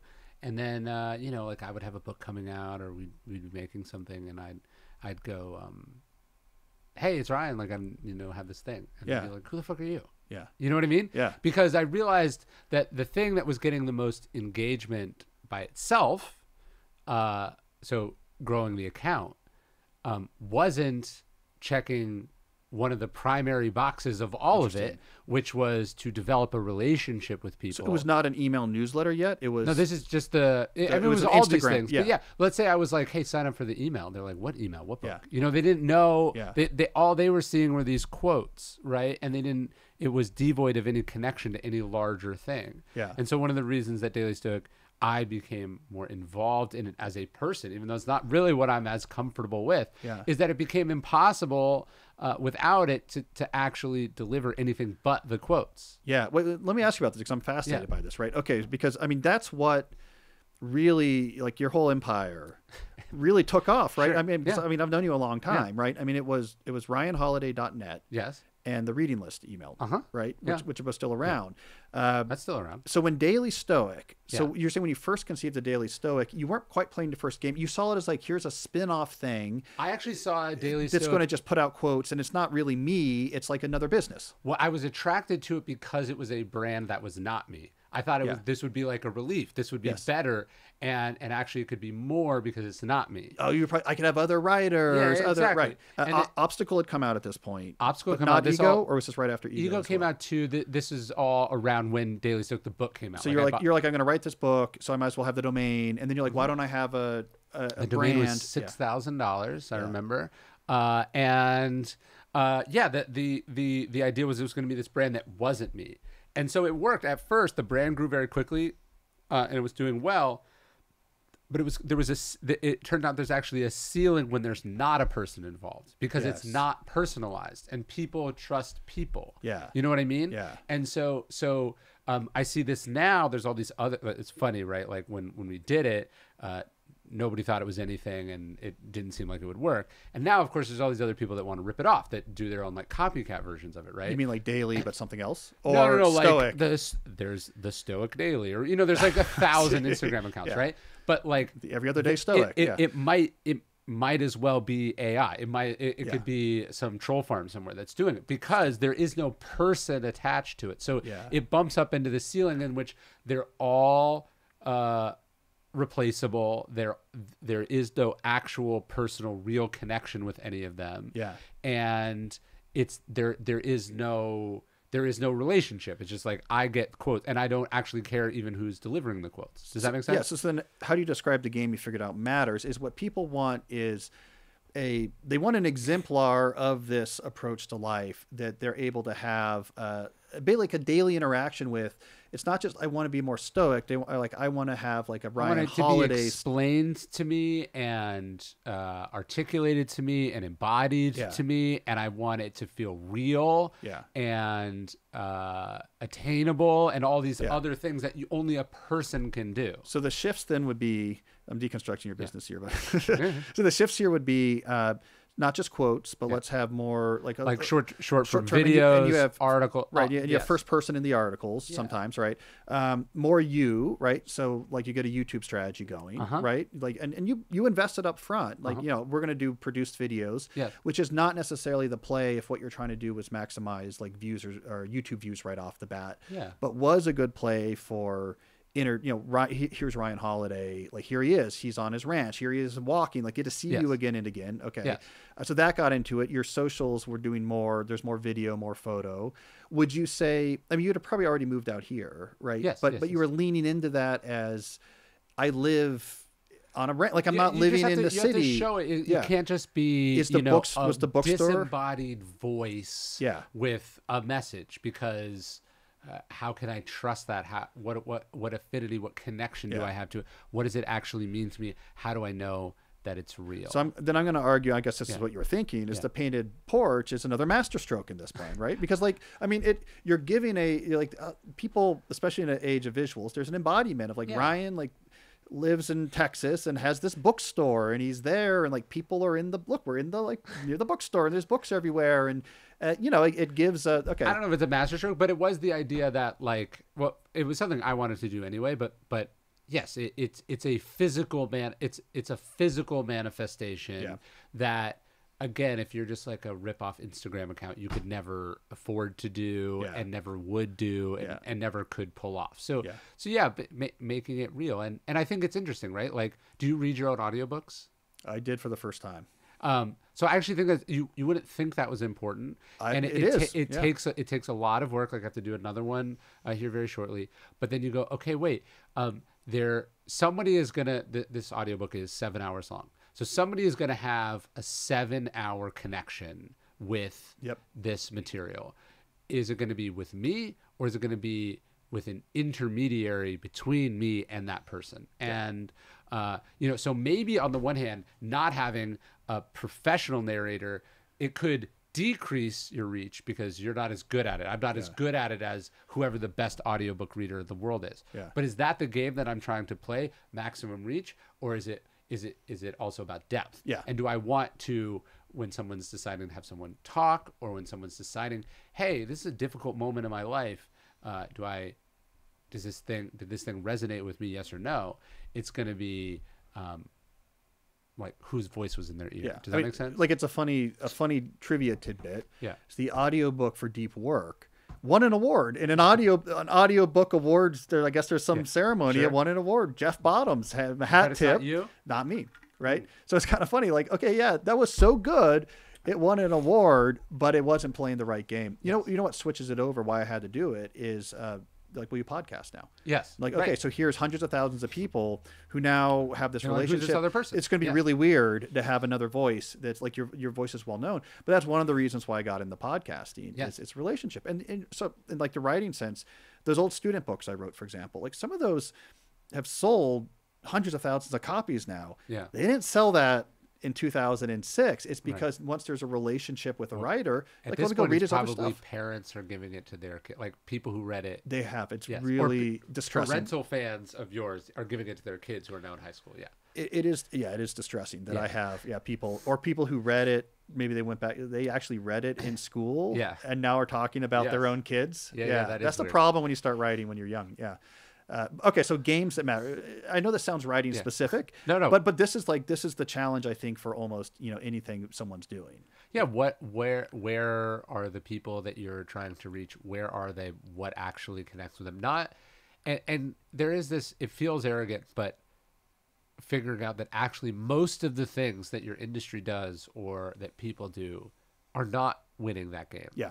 And it's there's a, a certain amount of artifice to it or just inertia to it and that you have to you have to figure out what that stuff is and then not do it. So what about this element? And um, all right, so this element also seems important. Um, all right, so you're trying to find the right game. The other factor here that seems to be important in people who end up winning is when you get that gut instinct of I think I found the right Yeah. game. Like I, you know, you just it's Yeah. clicking or whatever. The willingness to push all the chips in. That seems to come up a lot. Yeah. Where this is working. Let's really hammer on. So to me, the first thing you do is you you have this. Okay, so you're you haven't been in this industry for 20 years. You just started this thing. You're Yeah. some kid, or you're you have this idea for business, and you go, you know, the way that this industry or this product is done or whatever, it's totally wrong. It's just nonsensical how inefficient it is. The first thing you should do is not trust that impulse. Yeah. The thing you have thought about for three seconds Yeah. is You- probably not smarter than all the institutional wisdom and tradition and self-interest operating in that space. So f- the first thing you have to do is go figure it out. So you're like, hey, I don't know, the way they sell things at convenience stores is dumb and it could be better. Like you actually have to go spend some time behind the counter at a place or you Yep. have to spend hours and hours watching how it goes or you know why isn't there a book about this well chances are there's not a book about this because nobody wants a book about that Yeah. right Yeah. or, or whatever right Yeah. and you have to figure out you have to you have to look for disconfirmation first and foremost that your hunch or hypothesis or you know like insight into an established industry or space uh, is not true because it's probably not true Yeah. and so i think that is that is a very undervalued step right Yes. because it, especially if you have been successful with other instincts like that in the past you start to believe you have this midas touch Yeah. or this know-it-all syndrome and that's when you blow up Right. Okay. Then I'm gonna, I'll I'll add on to that. Also understanding how that world works. yes Right. So okay, I think I have a thought about selling things in convenience stores. Yeah. Let me find out why don't people sell it that way. Yeah. Also, how does one start a company that like puts stuff in convenience stores? Yeah. Like, what's the reality of where those goes are, their margin? Like, I always tell people, for me, the most important you know phone call probably in my life is when I decided to write a book. Uh, I called a family friend who was an agent and said, "Explain to me how do people sell books?" Yeah. And in particular, what would be the very narrow path that like a 20 or 21 year old could follow to sell a book? And she was like, this is how the industry actually works. Yes. And I don't know how many other, you know, young people like bright, precocious or an Ivy League school, like, I'm going to write a book or whatever. And it goes nowhere because you don't do that step either. You're Yes. like, I'm just going to, you know, I, I had this exact conversation with someone. He came to one of my talks and um, he wanted to write a book. And I was like, okay, I have my standard advice for writing a book. And he had this whole like alternative world built out about how he was going to in run around the whole. It involved him spending a lot of money Yeah. on these marketing firms. And these marketing firms were going to get like a lot of attention to his self-published book. And and then the publishers were going to come to him and say like, you know, you this is so great. And I was like, why would you do all of that? Like there's a very specific path that works really well. They're desperate for good books and it's a great like threshold function to see if your idea is good. He didn't want to have anything to do with it, right? So, you know, understanding is is this idea really good? Don't trust yourself. Yeah. How does this world really work? Yeah. Then I would say like wait till you have traction Uh-huh. like I've made money, I've sold things, so like okay, like I'm actually in, playing in this world now. Yes. Until I'm playing in the world, I'm not ready to make my big swing probably either. You know, like Uh-huh. so I think that comes into it as well. Yep. But then knowing, because it can be hard to figure out. Like again, I, I think about your story. Like a lot of pieces came together, writing about stoicism which you know your original decision to do that was not part of some master plan. No. And I've told you before, like those of us who knew you back then thought you were crazy. Yeah, my my my editor told me later that she thought um, it would just not work, and then I would go back to doing the other. So my publisher was like, "We were just humoring you." Yeah. Uh, Yeah. Who I've now sold millions of books on that topic for. So yeah, it, it, and Yeah. but it is important. It wasn't a huge bet. No, you know but, what I mean? but but I'm saying that was like one of several elements, right? Yes. So like that, like oh, that's kind of working. But there's a couple books and a planner in there before Uh-huh. that really established. Moving to Daily Stoic as a, a, a separate entity, but then making Daily Stoic around you, Yeah. visual branding as well. And at some point, you know, those things all started clicking together. And then it's okay, we're going to do the four cardinal virtues books. We're going to, you know, really push the the the the studio quality pod. You know, the plays. It was like you push chips in, right? Mm-hmm. Yes. You know, so it's like you're waiting for your moment. I think like Andrew Huberman did something similar. yeah, He was going around doing all these interviews during COVID yeah. and was feeling like something here is working. Like Yeah. I just something about being a a, a, He's realizing professor. he's good on camera. Good on his camera. things are spreadable. I have authority, but someone he's with a hearing from an audience. Like he's probably getting lots of emails back from people who are like, "Your thing changed my life." there was I, there's these articles being written about him, and his interviews were blowing up on these big podcasts. And he's like, "Oh, this works. I'm I'm talking in the way of practical advice, but I'm not just you know whatever." Yeah. And so he's like, "Let's just do, let's push the chips in on this. Yeah. Let's like this is what I need to do twice a week. Like let's do this. Like do the research and like just put out these episodes and uh and you know all that sort of takes off too. Or like Lex Fridman realizing like the AI podcast, which he'd been doing forever, you know, forever. He was just interviewing uh, scientists mainly about AI and other technology. And there was this like pandemic moment where he's like, oh, no one's doing anything. Yeah. And if I fly around the country and test myself every day and set up studios and hotel rooms, I could talk to a lot of people. Yeah. And like, that was kind of working. Like, let's go all in on that. I'm gonna. This is this is what's working. Is my interview style, not the not the fact I'm talking about AI. Anyways, you sort of see this right. you see this come up like okay now that something's working go for it Yes.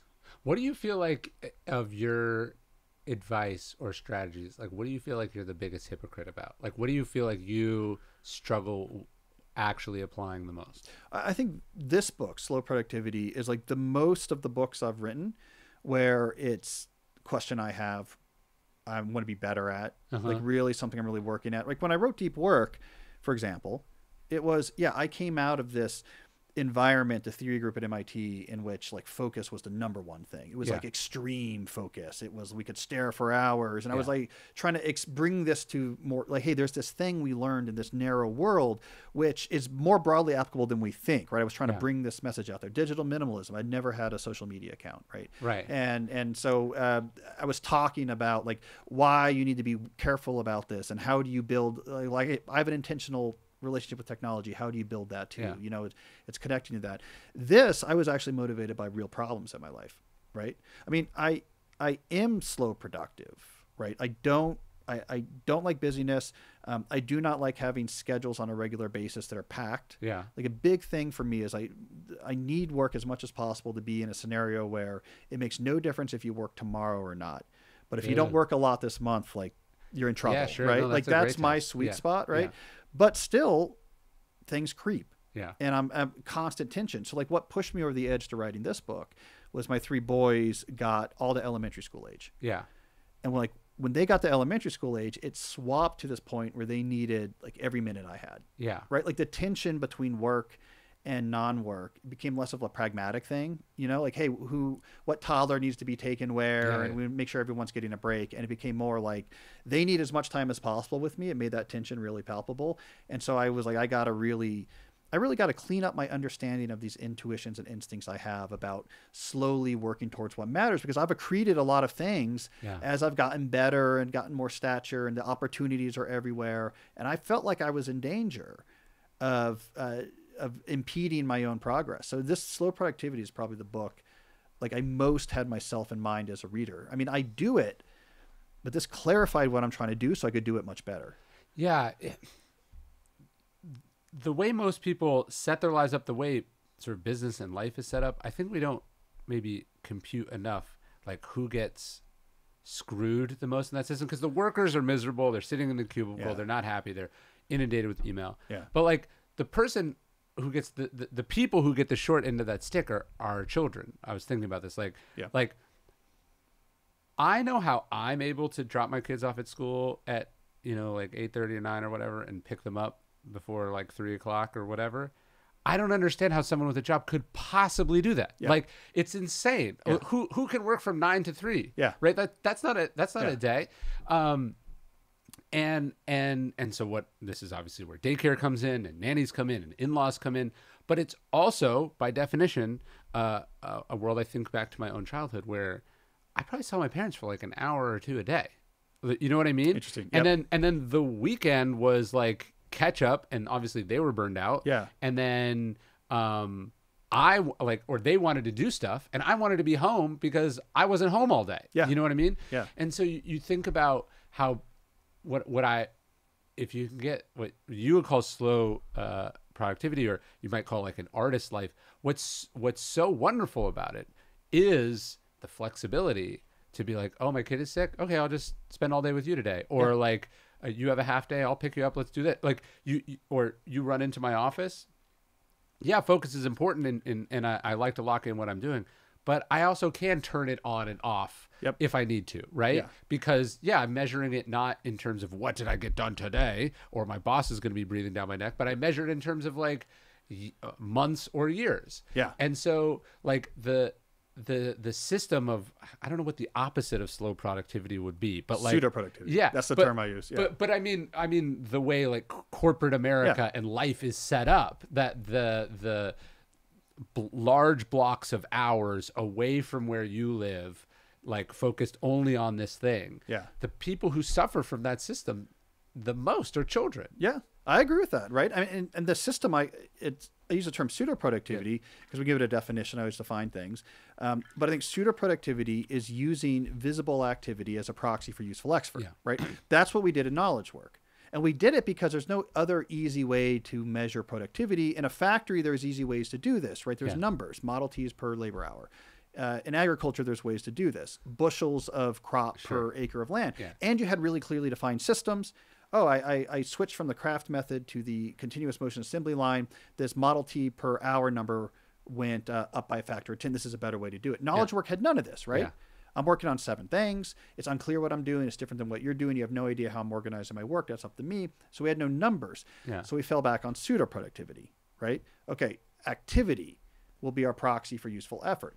This was okay when it was uh, we all gather at an office for a set amount of time anyways and then it was just a game of you know don't be seen reading the magazine during the day but my argument this is like the first part of the book is that when we got the front office it revolution so especially when we got network computers portable computing and then ubiquitous wireless internet now you had the ability to demonstrate activity on a very fine granularity um, at all times. Yeah. Because you could send an email anywhere. Sure, sure, right. sure. You could do a Slack message anywhere. You could jump onto these calls anywhere. You could do your work from home, and that's what put us then into this constant tension between work and everything else. And so, Yeah. so I think it was pseudo productivity plus digital. Yeah. Because I'm a techno critic, so everything kind of comes back to that Yeah, yeah, sure. those two things together is when the wheels begin to spin off the, the bus. And you can actually see this by looking at uh, business advice literature, like books, like the popular books, right?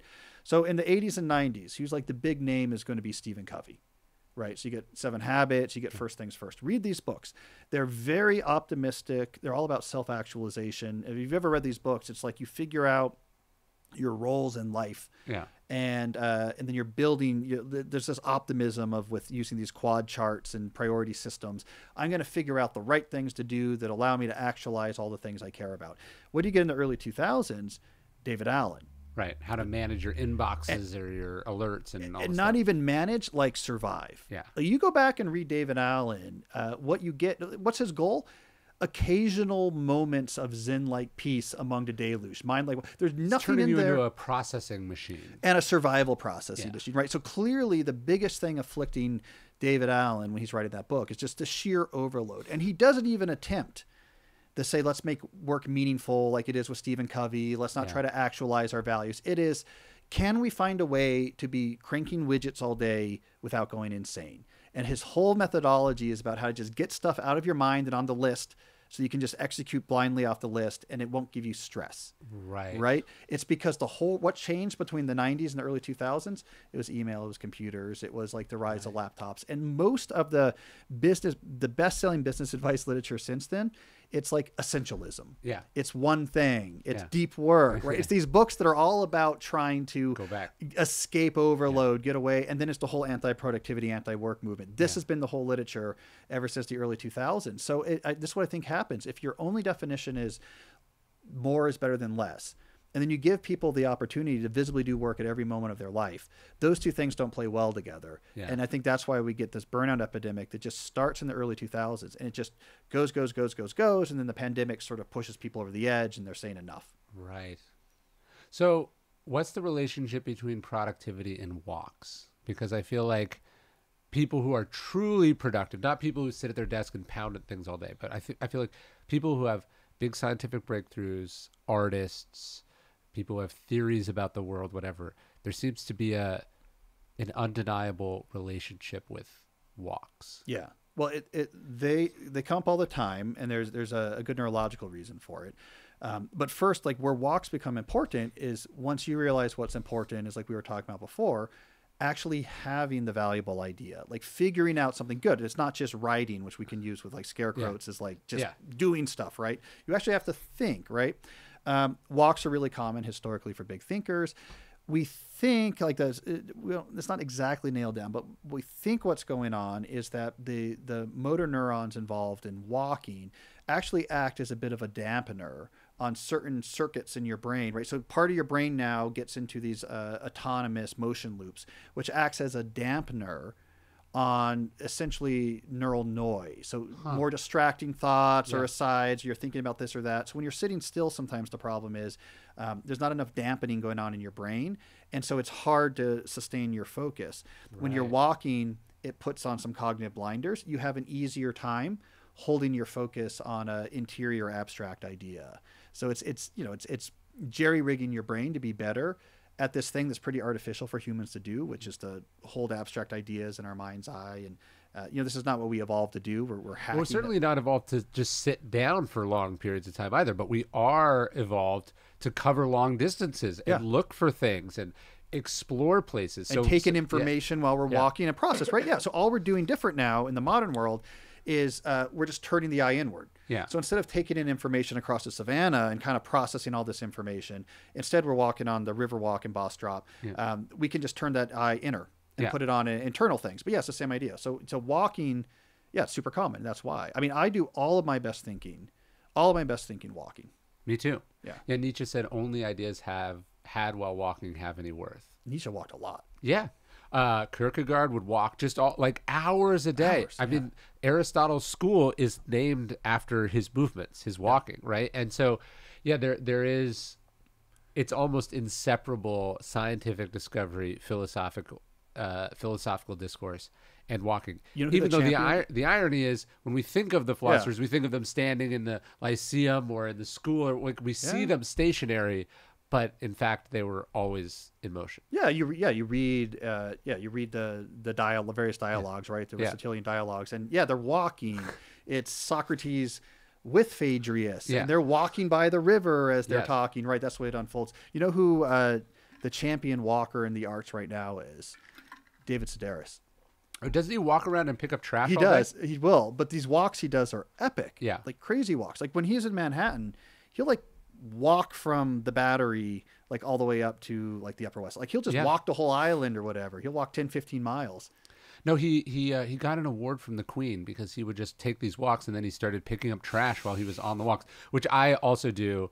Uh, like uh, I live on this dirt road, and so I'll, I'll sort of walk it over and over again, and it's like uh, there's another nail, you know, or whatever. Sometimes it's it's not. It's even worse than that. But but yeah, there's something about you're doing this thing, so there's not really any expectations that you should be working, Yeah. or that you should have the breakthrough and perhaps that's where it comes from too like archimedes in the bath or whatever it's when you're when you've turned it's still operating in the background because you can't turn it off the, the the thing that's working on the problem but when you stop being so willful about it something unlocks and it's Yeah. very powerful And it comes to you. Yep. yes Do you also get? I get this in my town. People think you're eccentric. Like you probably get it worse here. You know, least I, I live in a little town outside of DC, but it, I walk these Yeah. same loops Yeah. through my neighborhood, and they're like, "Oh, there goes." I mean, they know it now Yes. because we're a small enough town. Yeah. Uh, but people are like, "Why do you walk so much?" I was like, "This is what I do for a living." I Well, think. the the the way that it has intersected with my life is, you know, it's like okay, so you got to get on the phone with someone for this thing, and uh, I'll send you the invite, and then I don't look at the invite until you know I'm about to get on, and it's like. Oh, this is like a Zoom call with 15 people. I'm already walking. So then now I have to make up this excuse for why uh, it's loud where I am or that I'm not at my computer. Like, oh, I'm out in the country. And so, you know, I'm trying to get rece- I'm trying to get reception. exact- Yeah. exactly. But but it's like I can't. I already didn't want to do this call. Yeah. And if you told me that to do this call, I had to sit at my desk for 30 minutes and not move or be outside, I'd want to do it even less. Yeah. You know? And so, so yeah, I do almost all my phone calls walking. So sometimes that can be weird in a small town because people are like, oh, hey, I want to talk. And I'm like, you know?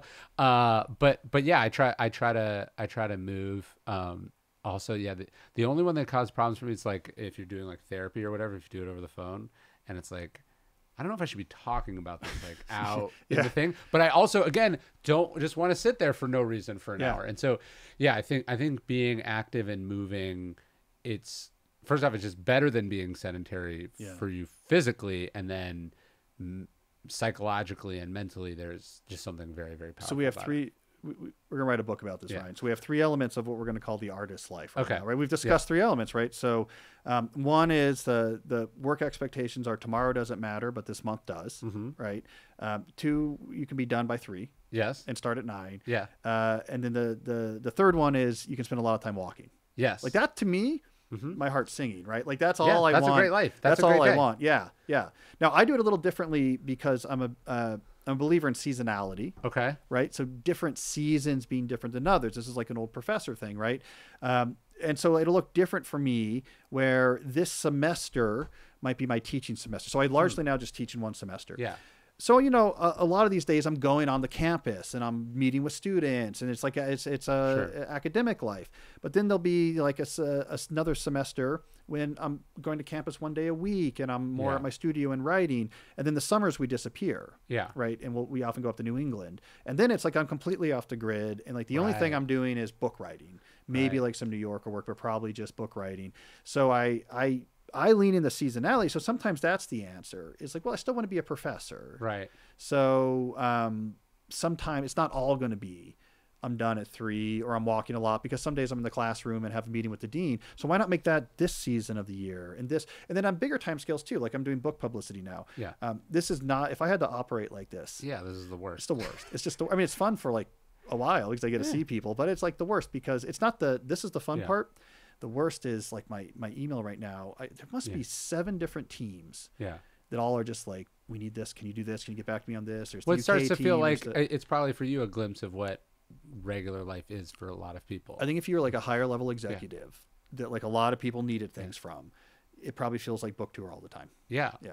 No, I the seasonality thing is interesting, and it, it's it's probably a throwback to uh, an older way of life. You know, it's like politicians. You know, the Washington would clear out during the summer because it was a malarial swamp or Yeah. whatever, right? Or or yeah, school. You know, has always sort of been in the seasons, but but but people used to do things that way whereas now and i find myself doing it i, I am much more of a like well what does my ideal day look like? And i'm just going to do that all the time. I, I but there is probably something unrealistic and unnatural about doing the same thing over and over and over and over and over again and not having uh, large chunks of time where you're doing it differently and you're forced to re-examine and question and try it a new way in a new place.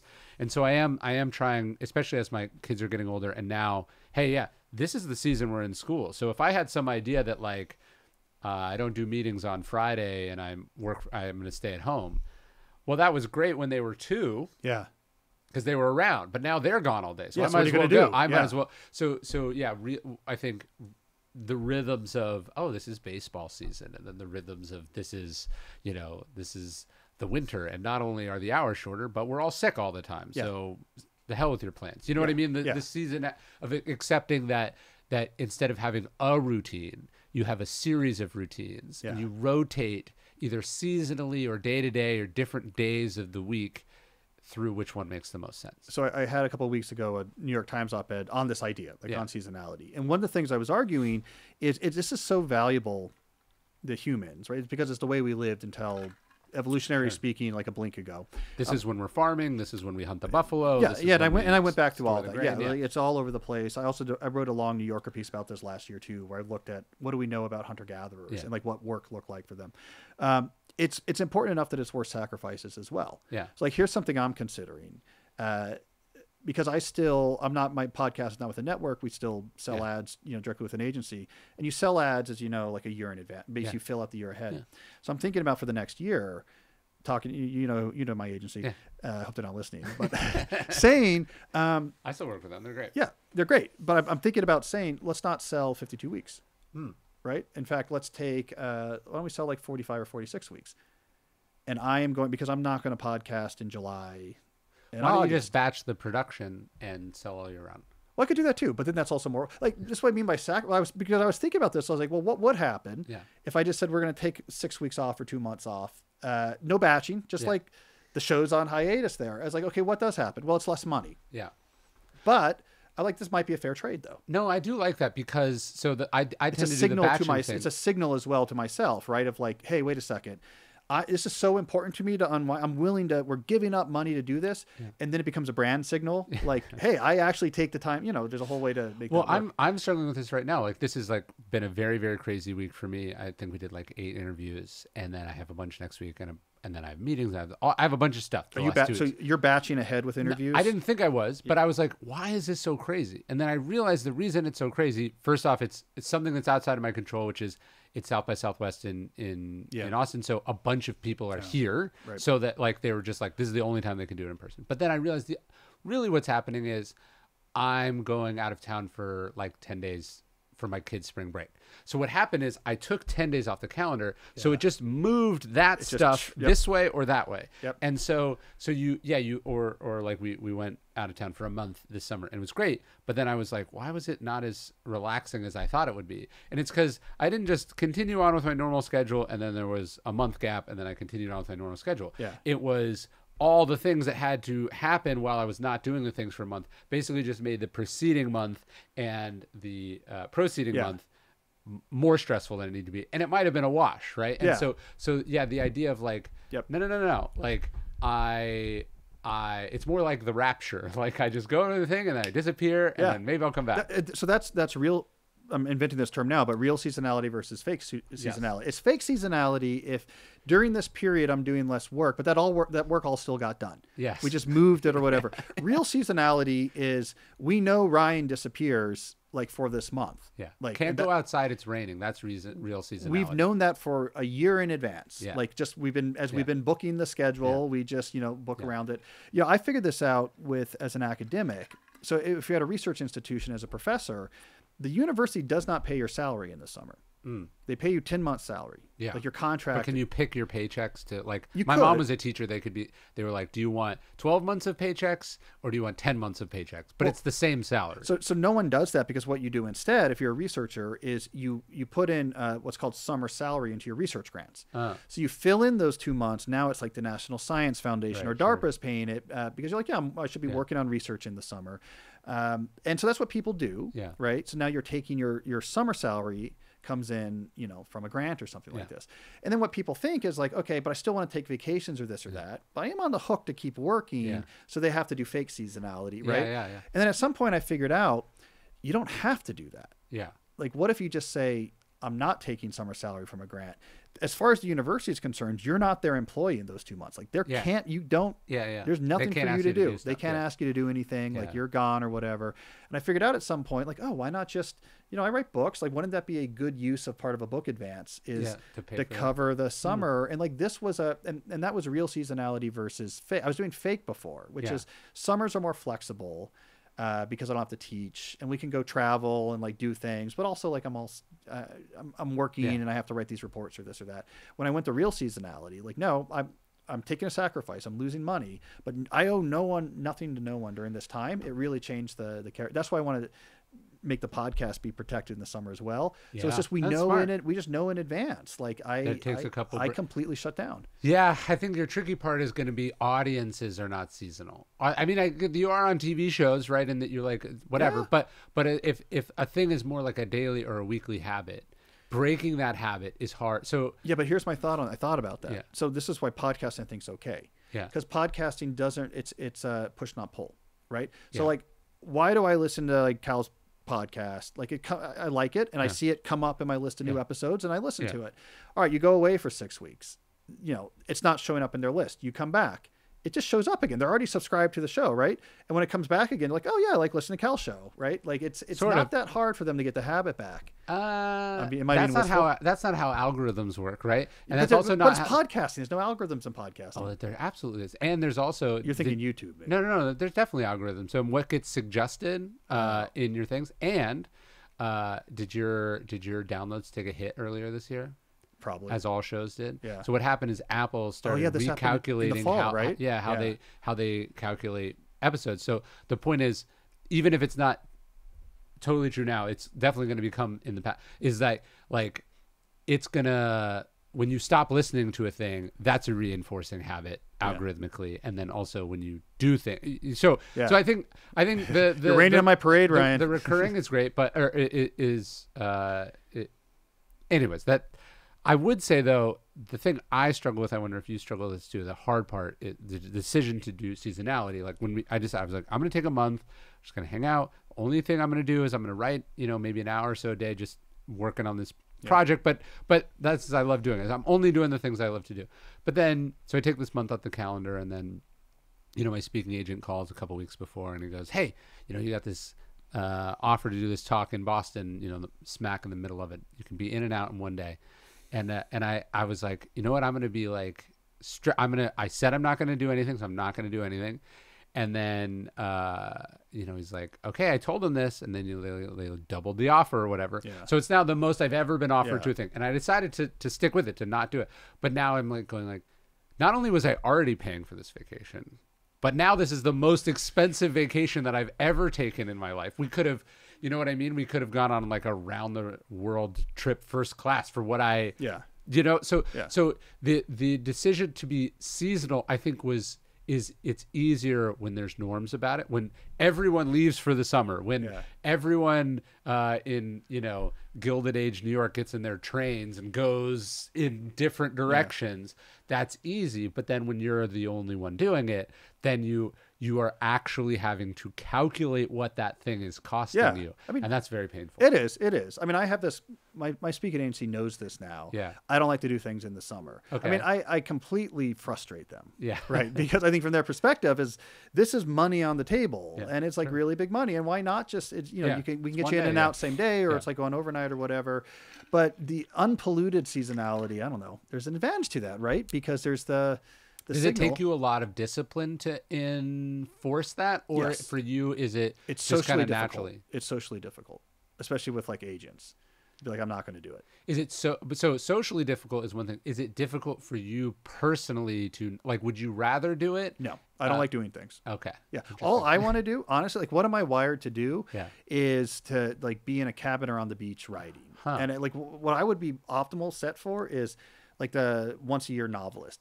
Yeah. Come back at the end of this year with a novel. That's also a great Yeah. seasonality. Sure. and we will uh we're going to leave you alone till like novelists have this figured out. It's the it's the only industry I can discover where it's there's no expectation. In fact, the expectation is you do nothing else. Novelists don't start uh, they don't podcast a lot. Like I mean, they do sometimes. I they would don't have biz. uh, If you're John Grisham, like they'll say it's talking about completely fine. novelists instead of when you're actually referring to like ten novelists. Basically, the well, all literary novelists, right? So No, it- no, it- but not the. But you're referring to the industry as Successful if that's not like seven people who can who are at that level. Yeah, but but uh, but the thing is, like, if you let's say if you got to our level of success in novels, Yeah, okay, to make it comparable, yeah. it would be completely understood You if we else. disappeared before publicity tours. Like that's a not everyone does it, but it's a complete. Like I wrote this article once looking at Crichton versus Grisham because Mm-hmm. they were doing similar types of novels, and Crichton went like the maximalist route. Yeah. Yeah, I want to do TV. I want to do scripts. I want to direct. I moved to Hollywood. And Grisham went the other way. This is great. I can quit my job. I can disappear. I'll do three weeks of publicity a year. I don't have. I don't even have a team. Yeah. You have like one assistant. And then when I she did re- marketing for one of his books. yeah, and then when Yeah. she retired, he was Yeah. like, I don't need anyone else Yeah, because yeah. only my agent, and my editor ever call me, and they call me like this time of year when I tell them what I'm writing, right? Uh, and he went that way with it, and that's. People are like that's fine. Yeah. like that's completely fine, right? It's the only where if you or I said like, okay, I'll be back in two years with my book. Like you don't, it just doesn't happen as much in nonfiction, and certainly not in like a lot of other jobs as well. But there, it's normalized because there's this uh, this belief that came from literary novelists of this is not going to be good enough to win the award if anything pollutes me. This is like Dave Eggers writes on the the non-internet connected laptop and disappears, and um, it's because it came out of that belief of you can't create this art, and if it's not art, then it's not gonna. If it's not great and doesn't get the National Book Award, then why did we pay so much for Jonathan Franzen's latest Right, book? right, right, right. And so they had this idea of like, yeah, please just disappear and do what you do. But uh, very few fields have normalized that. Yes, that's right. But I think at the, what they all have in common ultimately is to, to be able to pull any of that off is leverage, which you talk about in so good. They 100%. You have to have Yeah. leverage. Like you have you have to have the goods. You have to have the audience. You have to write the firm. confidence. Yeah. Yeah, And, and and you have to. Uh, and so yeah, whether you're a salesman who wants to be the only remote employee for your company, Yeah. or you want to be the author who takes a bunch of uh, you know weeks off during the year, months off during the year, or you know whatever it is. Yeah. You gotta you. No one's gonna give it to you. Yes. You have to take it Yes. and demand it, and then you have to have the leverage to be able to make it worth doing. That's why. That's why I say uh, the obsession over quality piece of slow productivity is the glue. Yeah.